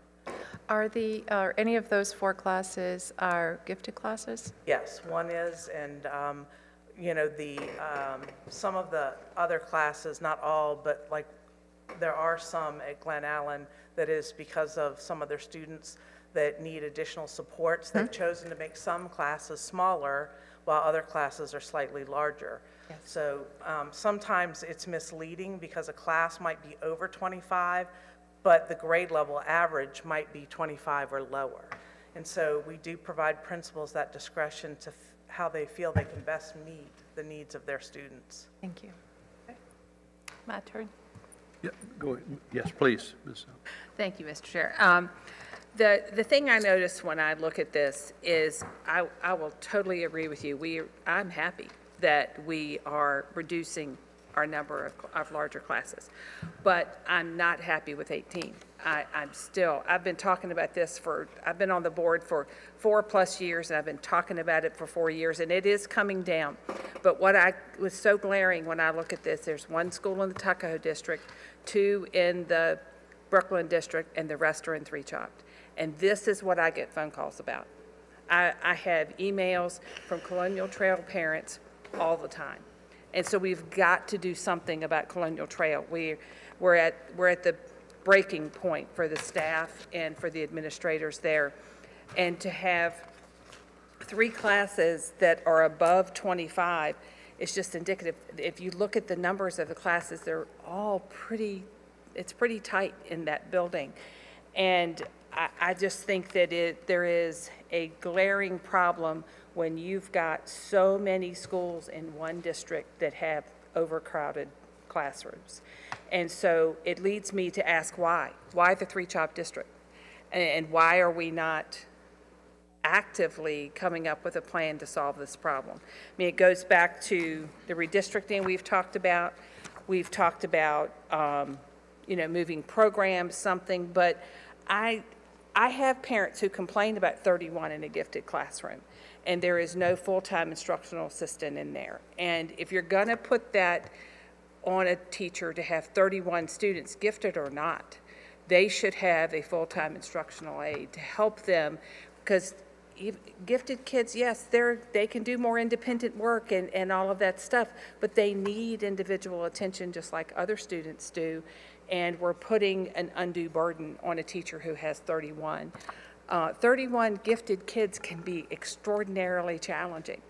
And so I, I think that um, it, it is just something we have to pay attention to. But we also have to pay attention to why this is happening in one district and in one area. And I feel like, to be honest, I'm, it's not directed to you, Dr. Teigen, but there is this complacency like, this is okay. And it's been okay for years. And it's not okay with the people who live out there. And, and it is, it is something that I've been talking about. I have beat the drum as much as I can. And, and it's the only reason I think in a lot of ways we've gotten reductions is because this whole board has said class sizes are a priority. And, but when they're clustered in an area exclusively, almost, it, the, the people in this area begin to think, well, we're forgotten. We're, we're, we're not getting what the rest of the county is getting, which is 20 kids in a class. And so I think the time has, I mean, I, I think we're at the point where we need to set a max, and it's cut, it's in stone. And we're going to say, in our county, we're not going to have more than 25 kids in a class. And when it becomes 25 in a class, we're going to come up with a, pro- a, a way to solve it. And yes, we're at 18, and that's great, but that's 18 too many, even if it is gifted. But I, anyway, I'll, we'll move on, and I, it gets worse when we get to secondary. So it's, um, yeah. I feel like Lisa, my hair's on fire. I'm missing her right now. Well, as you see, total number of classes did go up slightly this year because of the number of additional staff. Um, Some of that is also because in the total number of classes, there are special education classes that um, were added that increases that number as well. You will see that we're going up in the number of classes that are below 20 um, and going, going down with the number that are over 25. Um, So some of that is, it's, you know, always trying to balance where you, you know, can take staff from one place to another in the window of time in which to do that. Um, So that's something we'll, we look at the current the current numbers as well as, as projections for next year to start allocating staff for 1920. At the middle school level, um, while we added 5.6 FTEs at the middle school level, um, we continue to have core classes that have more students than we would like. You're absolutely correct. Principals often have to make difficult decisions while, when they're doing their master scheduling. And while they work to meet the needs of all of their students, and this means providing smaller class sizes for those students who have um, greater challenges, or in some cases where they're trying to make sure they're uh, offering opportunities that are available, um, should be available at all schools. And so um, we do see just for clarification too, core classes are math, science, English, social studies, and world language. The non-core classes are everything else. Um, You know, it's also important to note when we look at the non-core classes that are over 28, you know, PE, uh, band, chorus, those kinds of, of programs are allowed to have more students, and you'd want them to have more. You want choruses to be able to bring all of those students together in a, you know, or a concert band where you're pulling different smaller group, groups maybe into one for a period. And so they do have higher, often have higher numbers, and for a reason. We also know that many of our career and technical education programs are capped due to OSHA regulations at um, 20. You know, if it's a business class or something like that, it doesn't, but even our, you know, family and consumer science classes are capped at 20. Um, So that's important to note, too, that we're, those are things we're trying to balance.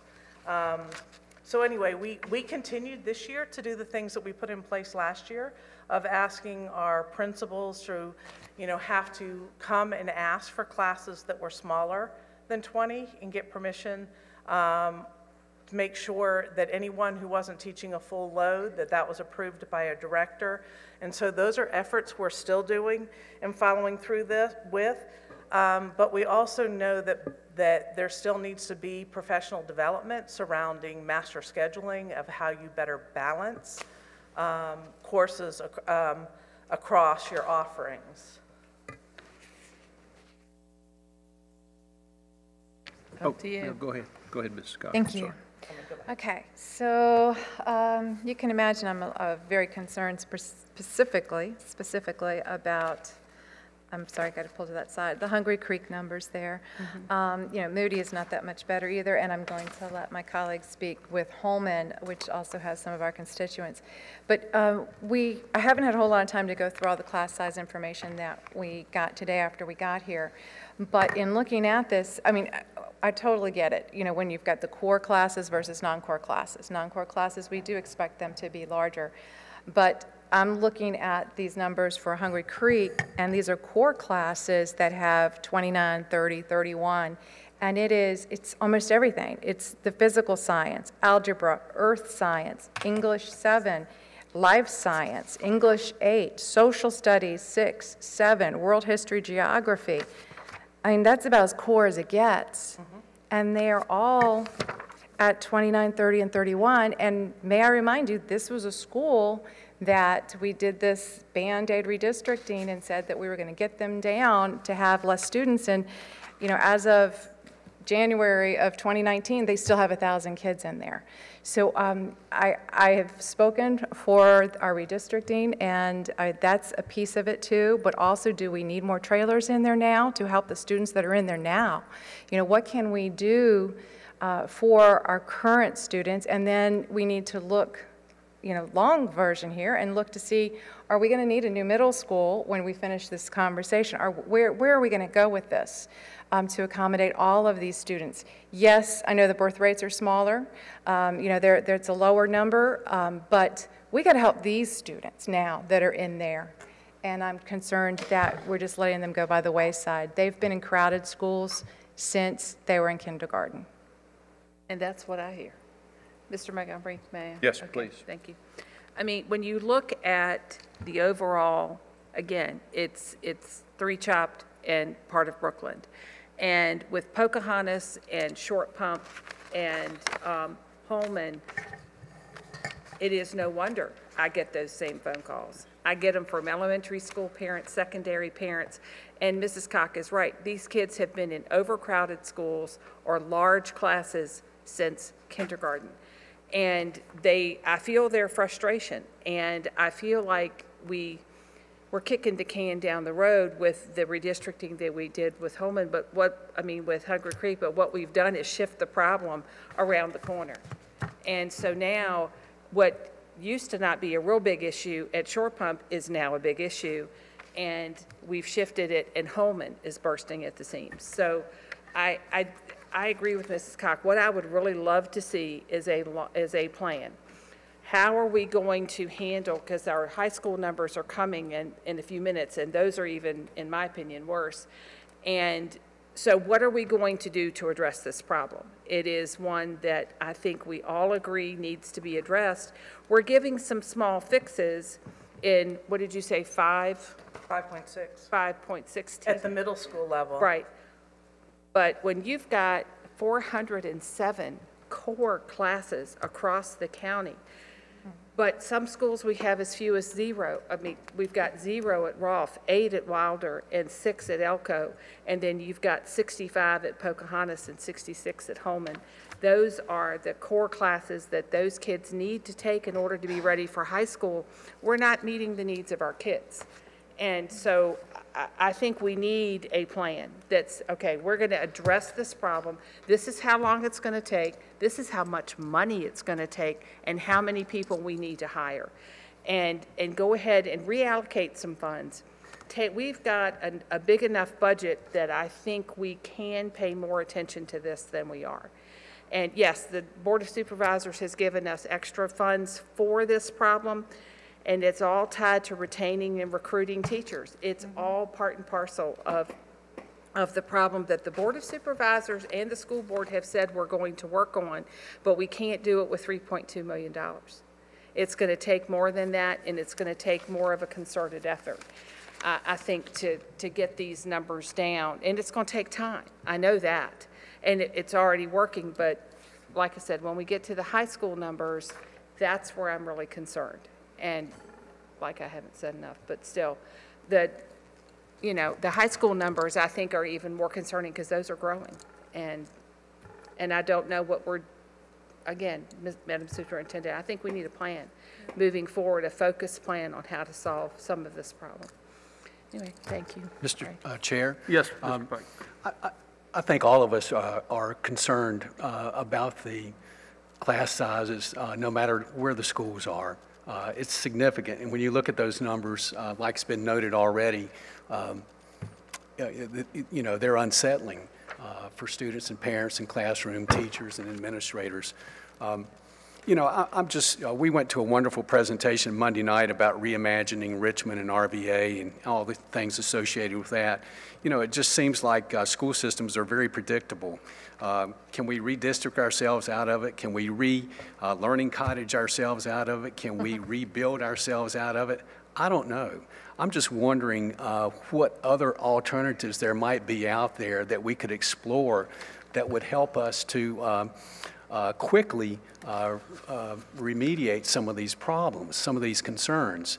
Um, There were times when I was a principal that, uh, I- you know, I would say, the heck with technology, Uh, give me three or four qualified teachers that I can do something with. And I don't know, and I probably would find the space within a building to be able to make that happen. Um, But I, you know, I would like to see us uh, move beyond predictable. Uh, What, what's out there that, uh, that could be done that would help us beyond uh, trailers and adding a classroom or building a new school? I- I'm not sure what that is, but um, I, I just would like to see us do some different thinking and see if we can come up with something. And I would always be in favor of hiring more teachers. If, if, if the money's there to hire more teachers and to make an impact quicker, I think that's the way we need to go. Uh, and, and I would challenge human resources to get out there and find them. Because it, it has an impact. Uh, and, it- and, uh, that's just my thoughts on it. And, uh, I, I have the same concerns that Mrs. Ogburn and Mrs. Cocke do. Um, And uh, just, we need to do some really different thinking about this. And I'm not yelling at you, I'm just, you know, spouting off. I and- know, I'm spouting No, off not too. at. But thank you for listening. Mm-hmm. Mr. Chairman? Yes, Mrs. Scott. You know, and we've talked before about maybe using some of our, our virtual classrooms too. I mean, we have so many great master teachers out there. I mean, is there a way that we can downsize some of these classrooms by, you know, having the master teacher in another school? I mean, I remember when Glen Allen opened, I'm looking at Mr. Baker back there, Dr. Baker. Um, You know, when Glen Allen opened, we, we had uh, some students that actually were sitting in, or sorry, were listening in, watching um, the algebra class uh, at um, Hermitage um, and things like that. I mean, those things do work too. I know it would cost money to have someone in the room, but uh, possibly not as much as a, as a teacher. You know, I mean, we're, we're, we are not piling on you. We've had so many discussions about this, Dr. Teig, and I hope you know that. I- This is not news to yeah, her this is- Yeah, this this is not, but, um, you know, I just think that there, there, there are, there are lots of different things that we can do, as Mr. Pike was saying, um, and, and I still go back to that that is, is a possibility to make, you know, to help us a little And, bit. and I think when you, when you think of some of those creative ways of linking classrooms across the county, mm-hmm. a key thing is, is that all of our schools need to be on the same schedule. So, it, you know, you think about, we have some flexibility at our middle school mm-hmm. levels on how they do their um, block classes, all of the, um, you know, where they put their intervention mm-hmm. block. The same is true at the high school, and they're not, e- they're not all on double block and, or on a block schedule. And so those are things that I think are precursors to doing some of the more creative um, connection of classes across the county. Uh, Mr. Chairman? Yes. I- I'd, I'd like to continue that conversation piece there for a second. Because we also are seeing that with our career and technical education. You know, we have a, a real issue with that. There's additional transportation um, that would help with lower the cost because we wouldn't have that same transportation um, issue of, of four times a day getting them um, to the other classes. So, uh, I mean, what is to, to keep us from, from all getting on the same schedule other than the way it's always been done?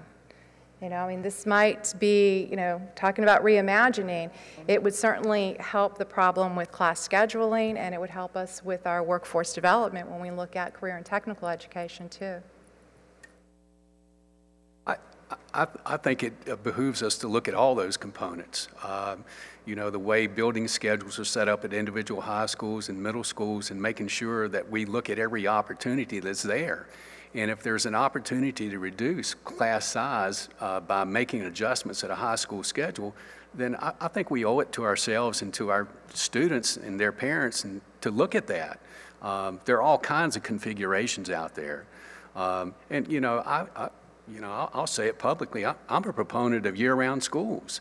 Uh, as crazy as that sounds, I don't know what type of flexibility that gives us, uh, but I, I think uh, when you take a look at this, you know how much heartburn is created by redistricting. We know uh, people do not like learning cottages. Uh, We know that the funding for trying to build extra school buildings or extra classrooms is, is a challenge. I, I just really think we need to look and see what other type of innovative alternatives are out there and, um, and not delay. Uh, Move quickly to see what we might be able to do. Uh, And I know that's not easy. Uh, I know it takes a lot of work, a lot of conversation, and, a- and a, a lot of consensus building. But uh, when you look at uh, 144 above 28, or 143 above 28, 144, 134, it's worth having those types of conversations. Uh, It really is, just to explore and see what we might be able to come up with. Um, Okay. Anyone else? What, one general question, what, what role does the, um, or what effect does the, the pop, the special education population inclusiveness in uh, classrooms, what role does that have on the size of the classrooms? A, a big part, not on the size of the classrooms, but the size of the classes. Um, it, it depends on whether you're talking about a collaborative class, of which then th- that total count, I think about at the secondary level, if there's a collaborative classroom and say seven of the students have a disability um, in that particular content area and, you know, 20 of them don't, and you have a class of 27, it's going to flag as an over, you know, as, as whatever, because they're all counted together. However, there are times when students aren't spending, you know, I think at the elementary level, they're not spending necessarily full day out in the classes, so they're not reflected in those class sizes because they're not on that teacher's role. But at, at the secondary level in particular, if you have a class that has uh, a portion of students with some level of disability, isn't it true that, that it's, it, it, the instruction is enhanced when the, when the overall population of the classroom is smaller? Lower? But, and, and even if we have two teachers in there, we're calling it a class.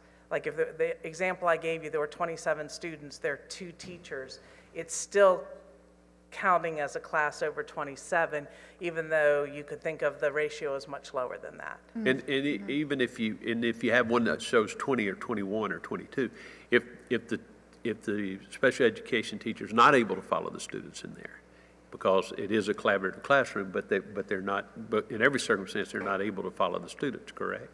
Right, sometimes in some classes, there are instructional assistants that will go with the students, or if, they might have, they might be a student with an IEP. Correct. And, and have a disability, but it may not be in that content area. Right. So I might have a teacher with me in English because I have a, you know, my disability is related to English, but I don't have one in mathematics because that's not where I'm experiencing those learning challenges. But when you do have, when you do have some students who have an IEP of some nature and they have them in the classroom, it, it, don't we make an effort to keep those classrooms smaller as well? that- Yeah, that- because of the, the intensive nature of the instruction that's necessary.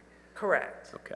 And so that, that's where you'll see some of the classes that are, you know, below 25, um, and that teacher, that principals will make the decision in the scheduling process to say that, you know, a, a class that's not a collaborative class um, can be a larger one so that I can maintain smaller classes.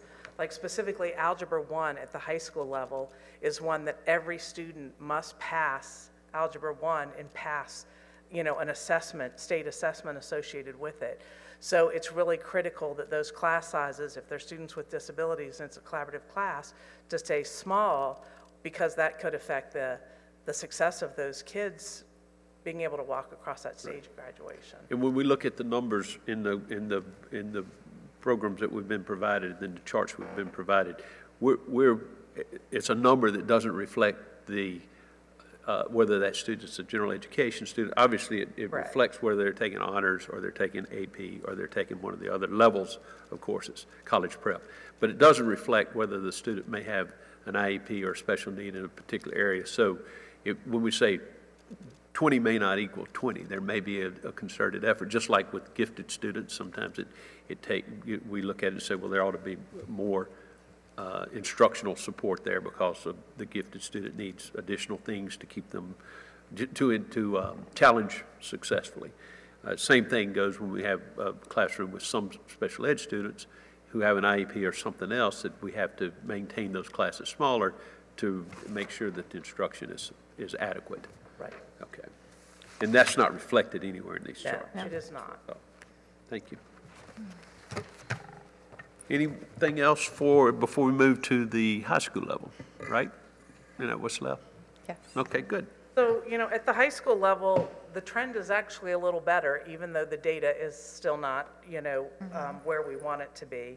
So we've reduced the number of classes that are over 28 by 103, and then the core classes by 103, and the um, non-core by 17, which I realize 17 is insignificant. Um, So we are trending sort of, at least in a better way here at the high school than at the middle school. We only added 3.2 FTEs at the high school level this year. And so out of the staffing that we had to allocate, the least amount, most went to elementary, second amount to middle school, and the least amount to our high schools. So again. Mr. again. Montgomery, can I Yes. I'm just yes. going to ask a quick question.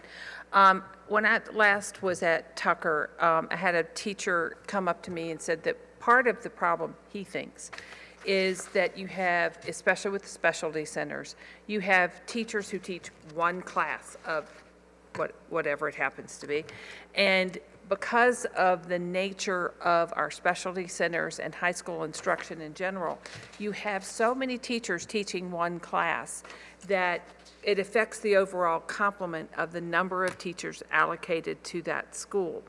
And so I know uh, it was a couple years ago, um, you did an initiative to make sure that all of our high school teachers were carrying a full load and that we're, I mean, how far are we along in that um, initiative to be sure that we're, we're getting the bang for the buck out of this, the people we do have? Well, and, and we have continued that process. Um, And occasionally, when we come across a building where, you know, they might have had everything good before school started, and then someone's teaching less than they were, we have, we have addressed it with the principal. Okay. So, I mean, we're trying to be, you know, consistent on our expectations and our follow-through mm-hmm. with that, so that, because it does, it not only impacts that school, and a lot of times that leads to complaints from within the school, as well as it impacts the rest of the division if, you know, if they have complement that's not actually teaching that should be teaching. But it is the fact that t- some teachers are teaching a one-off class, especially in our, does that, in your opinion, affect these numbers as much as I It aff- think some teachers think it does? It affects it in the, in the fact that if I have a singleton, which is what we usually refer to them when there's only one section Hmm. of something, that it, it's only offered once, so, you know, the schedule will bind up who can get into it and who Right, can't. right. And so you could fluctuate, and maybe you have it set at a 28 max for an AP class, but then more kids' schedules will let them get into it, and you'll, and you can override it to increase it, because teachers usually want all of the kids who want in their class there. Right. But every teacher should be teaching, you know, five or six classes over the course of, you know, two days on the block schedule. Um, and so, you know, it doesn't matter whether they're teaching singletons or they're teaching a class multiple times. The issue that, to me, that that has is as a teacher, if I'm teaching multiple singletons, I have multiple preps. Right. Mm-hmm. And while o- oftentimes secondary teachers have multiple preps, you don't want teachers that have four or five preps. Right. And that sometimes can happen, and sometimes it's because teacher, teachers specifically want to teach certain classes. Um, Sometimes it it's how the schedule rolls out based on what students need. We try to do student-driven schedules so that it's about what students want, and then you try to make the schedule work to that. But our, um, sometimes what makes it hard when I talk about the balance of classes is when you have a lot of singletons, it becomes harder and harder to balance across the, the other sections of different classes because of kids who want those specific classes can only get in the certain blocks that they're offered, and so then it packs up other blocks. And so um, that's where the challenges come, and our, our schools that have more than one specialty center, that increases. That's, that's the, what Tucker is facing with And, three and specialty the same thing can be true with your collaborative classes, mm-hmm. because usually that's where you mm-hmm. start your scheduling, is with your collaborative classes, so that you're sure that your teachers can have planning time with their co-teacher. You want to make sure that they're in their content area, that, of the special ed teacher, that's their expertise. And so those things tend to bind, you know, bind up the cal, the, the schedule that then leads to an imbalance across where you have classes that are 21 and another one that's 29. Right. And you think, just move them, and it's not that simple just to move the kids. Do we need to examine how we are de- determining the needs of a high school? For example, since we have so many one-offs and, and that kind of thing, and they're having singleton classes, do we need to look at how we're allocating teachers at our high schools and determining what their needs are? Because it seems to me that, I mean, we can see it in the, the, actually the next slide, when we've got 2,000 classes over 28 kids, that something's wrong somewhere. And I wonder if it's in that allocation formula and if, how we're, if we've only added three new teachers over the, all of our high school, that's nothing. I mean, that's, we, you know, that's great, but we could, I would love to know, what do we, that's why I asked, I think we need a plan. What do we need to do to, to attack this problem? Well, and I would say, and this is sort of a guess based on the number of, of schools and students that we have. Just to re, you know, and I'm talking the overall average, just to reduce the overall average at middle and high schools by one student. So let's say our, which is, you know, that's part of what you're doing to get class sizes lower, um, is probably 55, 60 FTEs. It's significant. Well, that, I'd and that's what I think is the 110 to the missing number for us, is, you know, three's not going to do it. No. Three is a, not even a drop, not even a drop in just the one of those bucket. little tiny Band-Aids. Right. And, and so what do we need to do to get these numbers down? It, I- it looks, I mean, from the numbers, obviously Varina has room, but that's, eh, eh, Varina has virtually no classes above 28, but all of our high schools do. So there's a solution to this, and there are a lot of smart people in the room that can put their heads together and come up with something that we can work on. I th- I just don't think at the high school level, we're given enough time, so. If I may? Yes, uh, please, Mr. Chair. Uh, I believe that um, there are probably multiple lenses through which we need to address this issue. And so um, certainly, looking at adding additional complement over time is one strategy, and we'll definitely continue to entertain that. But I think um, it goes beyond that to what's been mentioned before, which is thinking of innovative solutions with, when we look at just our current um, high school model, for example, teaching courses within very um, rigid content silos, uh, we see a lot of examples of innovation around the nation where by doing some course combinations and those sorts of things, you're able to alleviate some of that. Of course, virtual um, has a lot of possibility in reducing some class sizes. I think there are a number of things we can begin to explore, and, and we certainly hear you loud and clear, and um, we'll take that information back with our teams and begin to do some brainstorming.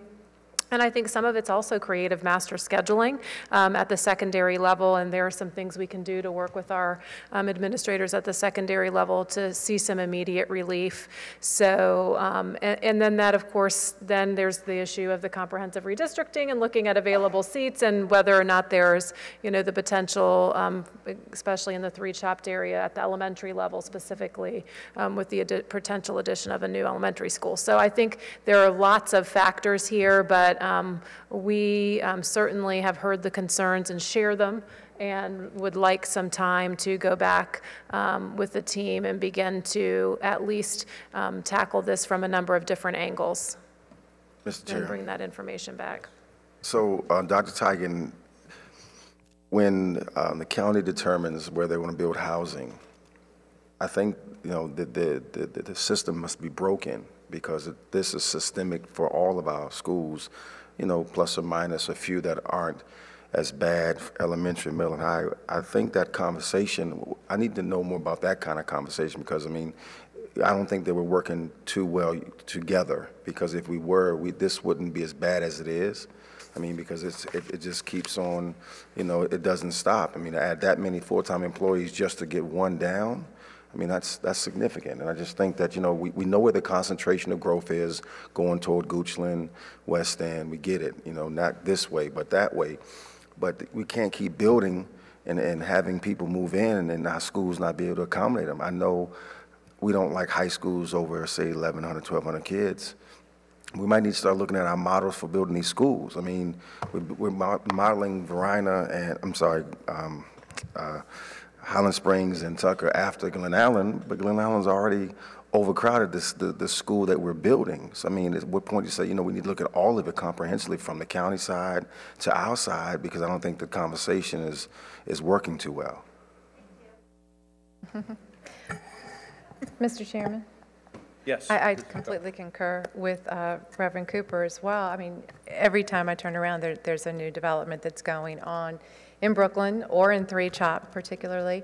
Um, And these are impacting schools that are already overcrowded. You know, as I said, you know, Hungary Creek is still over a 1,000, just like it was last year with the redistricting. And there is still River Mill to come to affect that school, um, as well as two other areas that I've heard of recently. So, um, you know, these are things, conversations that we also need to have on the table. Absolutely. Mr. Chair, just real Yes, quick. yes, Ms. And a, Doug. a new subdivision, a, a new apartment complex in Innsbrook that will affect Hungary Creek and Holman and Springfield Park, and i it is massive. And no, and so I think you're right, whether it's a new, um, elementary school and middle school, or we look at, at redistricting, something's got to give, especially in that area. Well, I still think that there, there still needs to be a conversation for all of those oh, parts. Oh, absolutely. Because I think that there could be some immediate redistricting. There are some seats out there, and I think that it's fiscally responsible for us to fill the seats that are out there, mm-hmm. and then also to look to that future as well. Right, absolutely. Okay. Anything else from anyone, So this, this, except for Reverend Cooper? this, so this, pre- so with the presentation, this is just a a uh, overview for us just to get it. So we're kind of throwing all this stuff at you. So, okay, I got you. Thank you for listening. Thank you. Very much so. Were- Had you gotten to the uh, The last, conclusion? the last one was just. She's ready to go, it. she's ready to go, We like, let me sit it. down. numbers speak, for- you know, um, you know, the numbers are the numbers. And, you know, we do know that continuing to work on, you know, developing those master scheduling skills that are needed to balance as best we can. I mean, there's always challenges, but there's, there's also things that we can do to try to help mitigate some of those challenges that we have. Right. Um, But I will say too that it's, it's hard for our secondary schools to get complement after a year has started because it's very hard. You're looking for bits and pieces of teachers. And so, you know, trying to, to provide them with the, the resources before they're working on their master schedules is often important. You know, I will say like Short Pump middle school got some additional staffing, mm-hmm. but they're using it in a more creative way that you're not seeing in the data. Because they're not, a te, you know, a newly hired teacher doesn't necessarily have the full course load that the other teachers do, but can do push-in. And we do that sometimes at the elementary when we add a teacher late in the year, when numbers keep growing, and when we have complement and can, you know, assist them with class sizes that are getting way too big at the elementary. Um, They'll use them in a creative way that might not be reflected in the data, but it is reflected in the classroom as far as how that, that additional staff is used.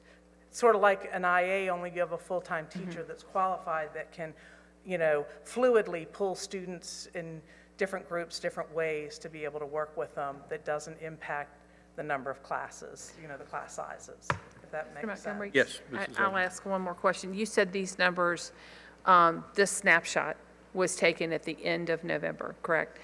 Um, We usually do this, how often in a course of a year?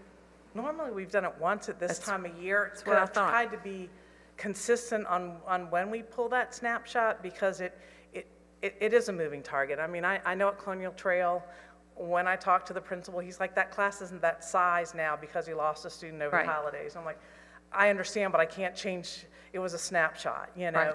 Well, So- that was my question. Could we, instead of waiting until next January to revisit this question, have a snapshot, let's say, in May, so we have some idea moving forward into the next school year, what we're tackling and what we think our numbers, I I don't know if it'll help guide us as far as planning over the summer, but I think it would help us with um, our work when we are talking to the Board of Supervisors and, and expressing our needs to have this more than once a year.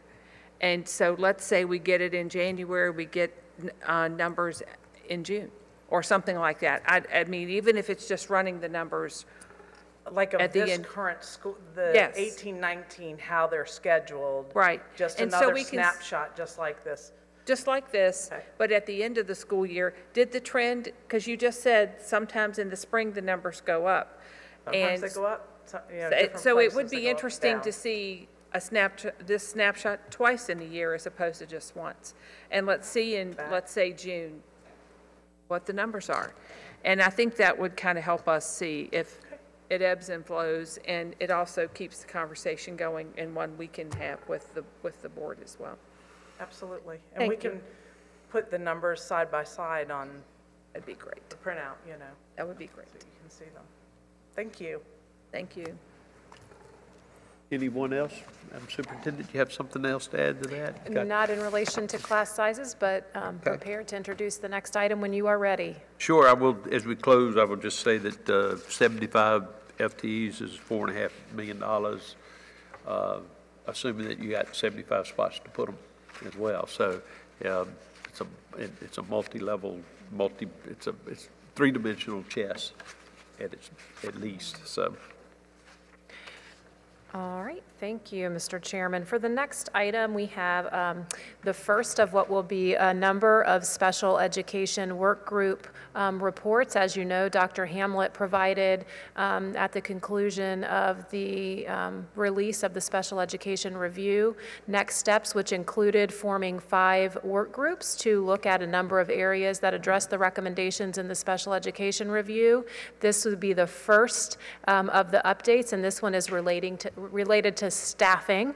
Um, And as you know, we, um, of course, at the timing um, of the report and the recommendations coming forth coincided with budget planning. And so you see that in our proposed budget, we've begun to chip away at some early areas related to special education staffing. But of course, um, this work group is tasked with looking into the future in a long-term fashion um, as we look to do some long-term planning to address the recommendations. So without further ado, um, Dr. Hamlet will make introductions, and then Donis Davenport and Cassandra Willis um, will take the podium.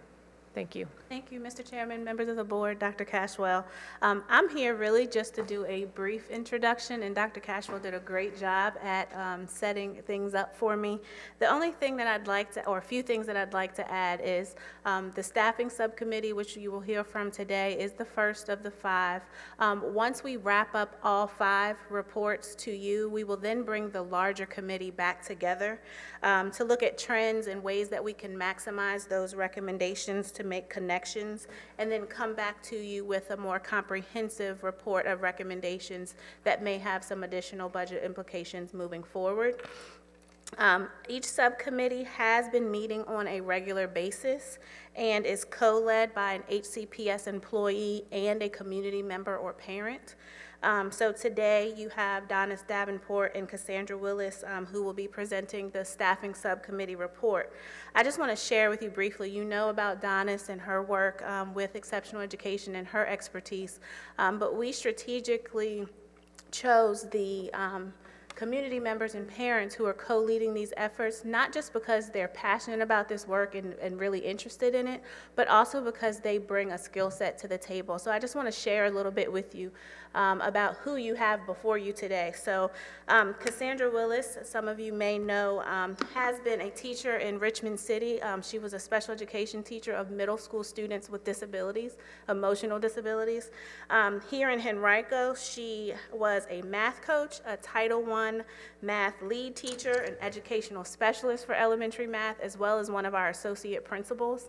Um, but she is also currently a third-year doctoral candidate at VCU pursuing studies in special education and disability policy. She is a fully funded fellow in the Research to Policy Advocacy Program, funded by the Office of Special Education Programs under the United States Department of Education. And I just want you to hear this. So, her, I'm, can you tell I'm excited? her research agenda includes special education teacher preparation, um, diversifying the teacher workforce, the intersectionality of race and disability, and how educational policy impacts public schools. So we have the perfect team teeing up the first report for you. So I'm just pleased to introduce them and excited about the work of this 27-man and woman team of um, the staffing subcommittee.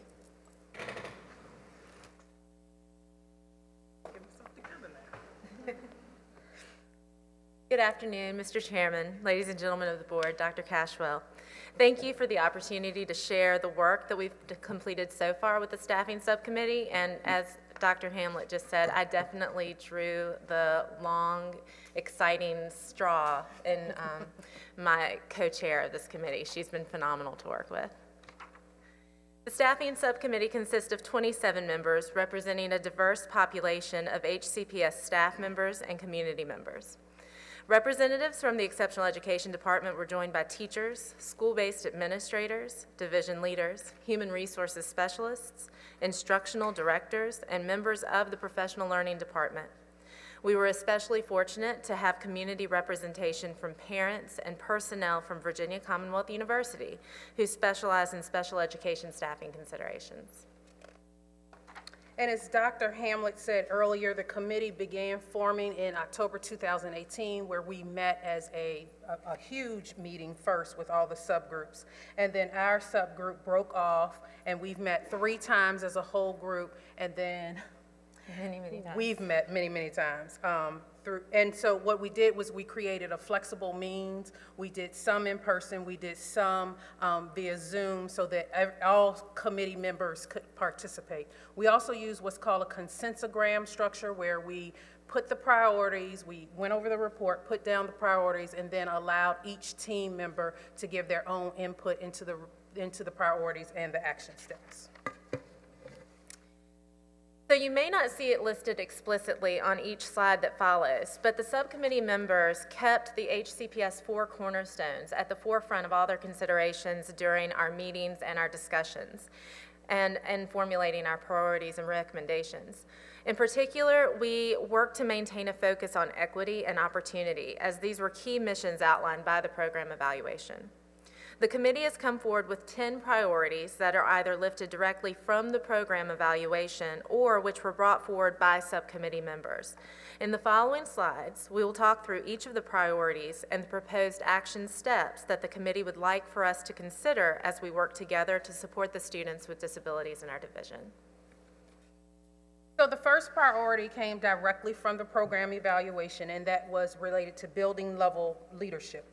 so the first um, recommendation that the committee made is developing the professional learning opportunities for school administrators using the Virginia Department of Education licensure standards, which all principals licensed in Virginia have to use, but looking also at the standards for inclusive leadership through the CEEDAR Center. So looking at that, but also recognizing that we aren't creating a new evaluation system for principals, but looking at ways that principals can, can make goals, principals can um, set norms and self-reflection, and we also are making the recommendation that others that train principals and provide professional development within Henrico County Public Schools use those standards and embed those in any um, professional development that's being delivered.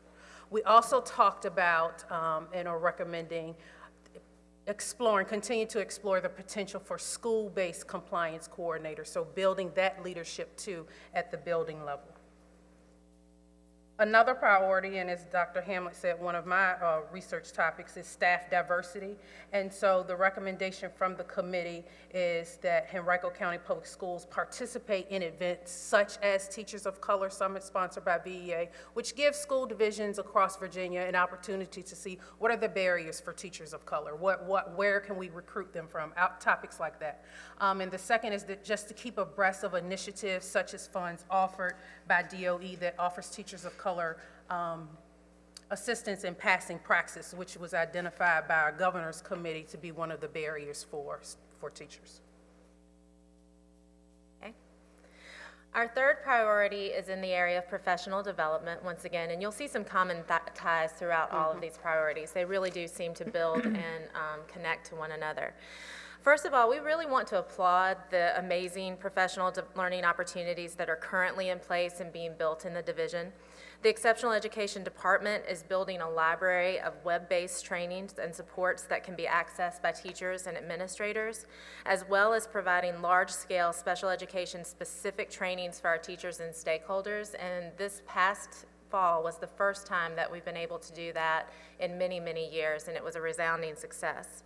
Title II funds have dramatically increased our staff's access to special education specific training that's offered outside of the division. And in the instructional department has supported the commitment to focusing on special education training at each principal meeting and leadership event offered in the division. The committee believes that we need to expand upon our mentoring programs that are currently in place for new teachers. Currently, new teachers are paired with a mentor in their building for the first year of teaching. We believe that this partnership should last for at least a three-year period. We also propose that the division employ a model in which department chairs and lead teachers have a significantly decreased teaching load so that they are able to provide site-based support for both procedural and instructional needs. This proposal would have a large impact on our current staffing and scheduling practices. However, it may pose an opportunity to address a number of the recommendations put forth in regard to increased school-based compliance and instructional coaching support. We believe that the division should explore the option of utilizing prep staff as program support instead of only as a source for substitute teachers. Many of our retirees are master teachers and could provide tremendous mentoring and coaching support by working alongside teachers in their classrooms. And along with that, similar to what Donis just said, new and provisional support for teachers. So looking at the structure of that new teacher week when teachers come in and looking at how we can structure that to expand the time they spend both in the classroom and the time that they spend working with their mentor, um, working with mentor teachers or master teachers, as Donis referred to. Um, the committee also looks at, or looking at, um, the in- instructional coaching staff. We're excited about all the coaches that have come into the county and the pro, and the models that they're using. But we also want to look at how we can spread that coaching support to special education teachers because we know that's a, a, a need. I was really excited by this idea that came out of the staffing subcommittee, and um, I think it exemplifies some of the outside of the box thinking that's going to be needed in order to really move us forward. Many of our school administrators and our specialists who supported the committee recognize that we have a large number of individuals who are employed in our county or who are living in our county that are either licensed as teachers in other countries or have gone through educational programming in other countries. And um, the committee recommended that we expand our media communication to try to take advantage of those potential applicants to work and to work with our human resources department and the Department of Education to assist them with obtaining Virginia licenses. Um, we'd also need to collaborate with our ESL department to ensure that communication is going out that's accessible to our diverse community. So I thought that was a great outside of the box idea that came from our committee. Um, the program evaluation indicated that the division should develop an HCPS specific program and policy manual. And really, we're really excited to share that this is already in progress by the Exceptional Education Department in collaboration with our division stakeholders. The manual is being developed on a web-based platform that can be updated easily and in real time with the changes that occur in our division. The manual incorporates policy, programmatic information, and procedural information in an easily accessible manner that's going to serve to promote consistency of practice across our division. You'll notice that the next four bullets have a green check mark next to them. You may have guessed what that means. The committee believes that these action steps are necessary, but we also recognize that they're going to have an enormous fiscal impact for our division. Um, we're excited by the proposed budget. Many of the first steps for our proposals are already represented in the proposed budget. School-based administrators on the committee led the charge to recommend that we evaluate our baseline exceptional education staffing allocations for schools. The committee recommends that we expand our complement for both elementary and secondary schools to be reflective of both caseloads um, and to decrease the number of collaborative case classes that are supported by instructional assistants rather than licensed special education teachers. So in particular, the committee is recommending that we eliminate the use of split positions in elementary schools. In these positions, one teacher may support two elementary schools. The ability to build strong relationships with families and their colleagues in these situations is severely impacted. And we believe that their ability to have a positive impact on academic growth is inhibited.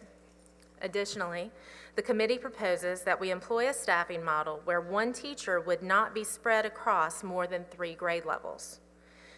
Currently, we have some buildings in which one teacher is responsible for supporting students with disabilities across all six grade levels. This is extremely difficult when you try to build a school's master schedule. It's very hard for that special education to teacher to be in fourth grade language arts and first grade language arts at the same time. Finally, the committee also recognized the need to increase the number of school psychologists who are employed in our division. The National Association of School Psychologists recommends a ratio of 1 to 500 psych- for psychologists to students. Our current ratio in Henrico County is 1 to 1,618 students. Some psychologists who support SES programs are limited in their impact to their individual school setting, but almost all of our school psychologists support three schools. School psychologists play a vital role in special education program improvement, as well as positive outcomes for all students. School psychologists' time is currently monopolized by their evaluation responsibilities. An individual psychoeducational evaluation can sometimes take more than 20 cumulative hours to complete. And last year, our psychologists completed more than 1,200 initial evaluations. This does not include those evaluations that were conducted as part of a student's three-year reevaluation. Expanding our psychologist capacity will lead to increased access to social emotional supports, more effective response to intervention, and better behavior programming for all of our students.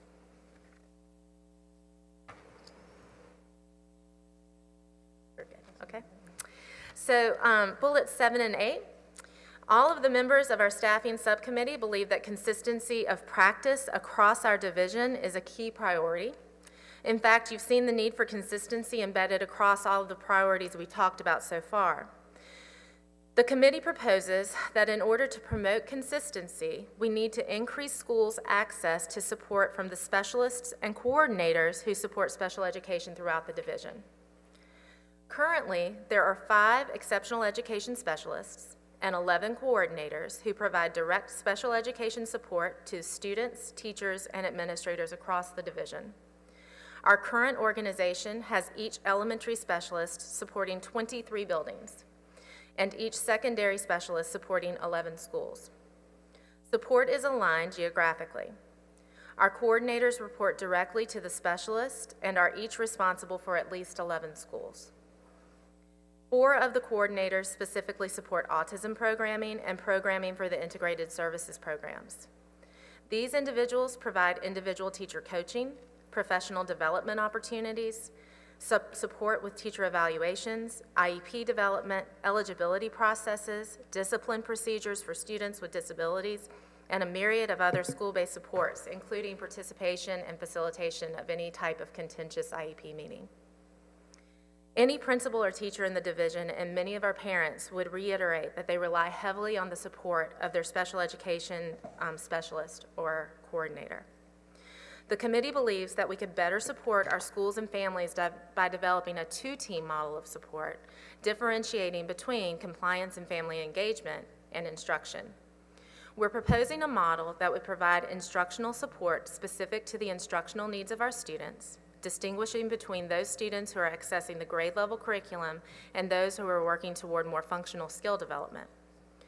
We've not fully developed a proposal of a new structure, but we believe that by adding at least two 12-month positions to our existing department, we would be able to develop a model that could provide deeper and more efficient support for our schools in meeting the needs of our students and families. An additional priority, oh, I'm sorry. The next one is the instructional assistance, which came right from the program evaluation, and you heard the um, proposed financial plan earlier, which talked about that. Um, In order to eliminate the temporary positions, we would need 350 full-time instructional assistants. Um, And so we recognize that that is a multi-year plan.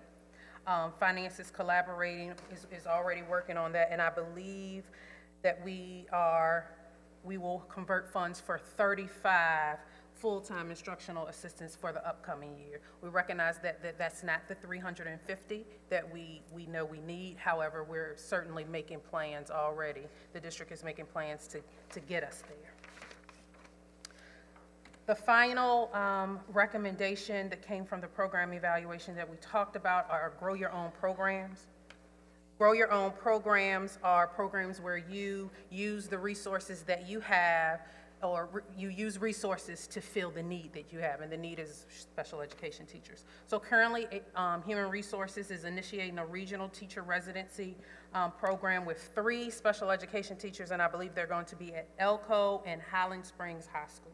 So we want to explore more opportunities like that and using one of the things that was really exciting um, recommendation that came out of the committee, that out of the, out of the box innovative thinking that we talked about earlier is using our own or using the staff in Henrico County Public Schools that have these en- endorsements and credentials to teach our own teachers, to, to develop a program where we are creating a pipeline of special education teachers all the time. So we don't have to recruit because we, we have them right here. Um, and also exploring opportunities to expand our special education connection to the Teacher Scholar Program, as well as to Glen Allen Specialty Program, so those students will graduate and come back as special education teachers. So as we stated earlier, none of the priorities that we've talked about so far can be completed or um, maintained by one department of- alone. And this graphic represents what we all know to be true. In order to truly reach those positive outcomes for students with disabilities that we all hold to be so important, we're all going to have to work together throughout each and every department of Henrico County Public Schools to achieve these goals. Um, we are really looking forward to continuing our work with our staffing subcommittee and our collaboration with the other um, stakeholders in Henrico County and the other work groups to further our goals and further our progress toward building our special education programs. And so that's part of our next steps, of course, collaborating with the other subgroups, collaborating with other stakeholders, but also receiving any feedback that the school board has for us. And then we're going to examine the impact to make sure that we have some way to measure effectiveness and looking at additional data to support the recommendations. At this time, we'd be happy to entertain any questions you may have. Well, that was very thorough and a good, a good first opening salvo, I think, from feedback from our groups. Does anyone have a question on this, on the material that's presented today? Mrs. Cocke? I don't have a question, but a comment. I am excited to see that we do already have some of these things in place in the budget, and so we are moving in the right direction. And thank you for all of this work. It was very thorough, and uh, it gives us a lot to take pause. Yep, that's accurate. Montgomery, I Yes, do have Mrs. one. Going back to, if we can go back to the slide with number three and four on it. That'd be great. Um, You talked about um, our instructional coaches. And I, I've heard actually from a couple of teachers lately that they never see them. And so, you know, they, they know they're out there, they, and do you know, or you can tell me, you just send me information. I would really like to know how many instructional coaches we have now and where, what schools they're working in, because I do hear that, that they don't see, some schools don't ever see them at all, and that kind of thing. So I'm just curious. Um, Yes, ma'am. So as far as special education-specific coaches that were hired through the Office of School Improvement, there were four instructional coaches hired. Those coaches are spread across eight buildings, so each coach supports two buildings. Um, They are led by, um, I'll- I don't know her specific title, let's just call her a master coach. And she also um, provides special education coaching support. This coaching support is only relegated, to my understanding, to new teachers. Okay. So much of the support that our teachers receive is still coming from the- those coordinators and specialists that work with our schools. And And I think that may be, if they're only working with new teachers, that may be the, the issue is, because I'm not sure that our current teachers understand Yes, that. ma'am. So they think that there's a, they're a resource that maybe they're not. So, Ma'am. okay, all right, I appreciate the clarification. Please, Ms. Ogburn, if you're ever talking to teachers and they need support, please encourage them to reach out directly to my office, Will and I'll do. ensure that someone speaks directly with them. Okay, thank you so much, I appreciate that. Thank you for that. Uh, Mr. Chair? Yes, Mr. Um, Pike. At number three there, um, I think it's really wise uh, to look at that prep staff, because you're absolutely right. Absolutely. There's a lot of wisdom there and a lot of practical experiences. So if we can make that happen, I think that's a win. Yes, So- sir. We, we have a few prep staff at this point who we use in kind of coaching and modeling support, specifically in some of our um, more significant, our classrooms of students with more significant disabilities, and their, their input and their support has been phenomenal, and it is life-changing for many of our teachers. They're able to be in a classroom for two weeks at a time, whereas one of our autism coordinators being spread across so many buildings isn't able to commit that amount of time to one teacher. So yes, sir, I was excited by that recommendation as well. Good. Mr. Chairman. Yes. So, um, Donis, is this presentation going to be um, on our website so the public can see this? I know it's in board docs, but what methods are we using to make sure that everyone knows that we are um, intentional, that we are laser-focused, and that we're going to do everything we can to make sure that we have an industry-leading um, special education program in- in- within our division? Well, I will tell you the truth. I have not considered that at this point, but I love the idea about linking it to our website. Of course, it's going to be here in board docs, but I think that it is really important that maybe we could create a section on our website for Well, that. even if it's not the, the, the robust nature of this particular presentation, but I just think that, you know, we're, we're focusing on, as a school board, transparency and, and, and communication, and I just think that this is a hot item, meaning that a lot of, a lot of stakeholders are very concerned about what are we gonna do, how are we gonna do it, how can we measure the impact, how do we know we're making a difference? Because at the end of the day, it's about the families that we serve, and, you know, they're, they're important, but want the, uh, the broader community to know how serious we take this issue. We actually do have a page that's dedicated to the uh, program evaluation that was done. And so every time one of these subcommittee reports is um, presented to you, it will remain in board docs, but we can also post it to that page. And the program evaluation report remains under hot topics as well. So any uh, stakeholder can Great find it on our website in Well, I definitely area. think you need to link this because the person's not gonna really look for it, but we want to, we want it to kind of like be blinking. We want it to be, hey, listen, this is, this is here, so. Great suggestion. Thank you. Thank you very much for your presentation. Madam Superintendent, our last item on the agenda before we get to unfinished business. Last item, um, Mr. Sorensen is coming forward to provide a review of a concurrent resolution regarding a permanent working group to review salary compression. Mr. Sorensen. Thank you, Dr. Cashwell, uh, Mr. Chair, members of the board. So I just wanted to uh, provide a few comments on this. So this is a concurrent resolution, as Dr. Cashwell indicated. It was adopted by the Board of Supervisors at the meeting on Tuesday night.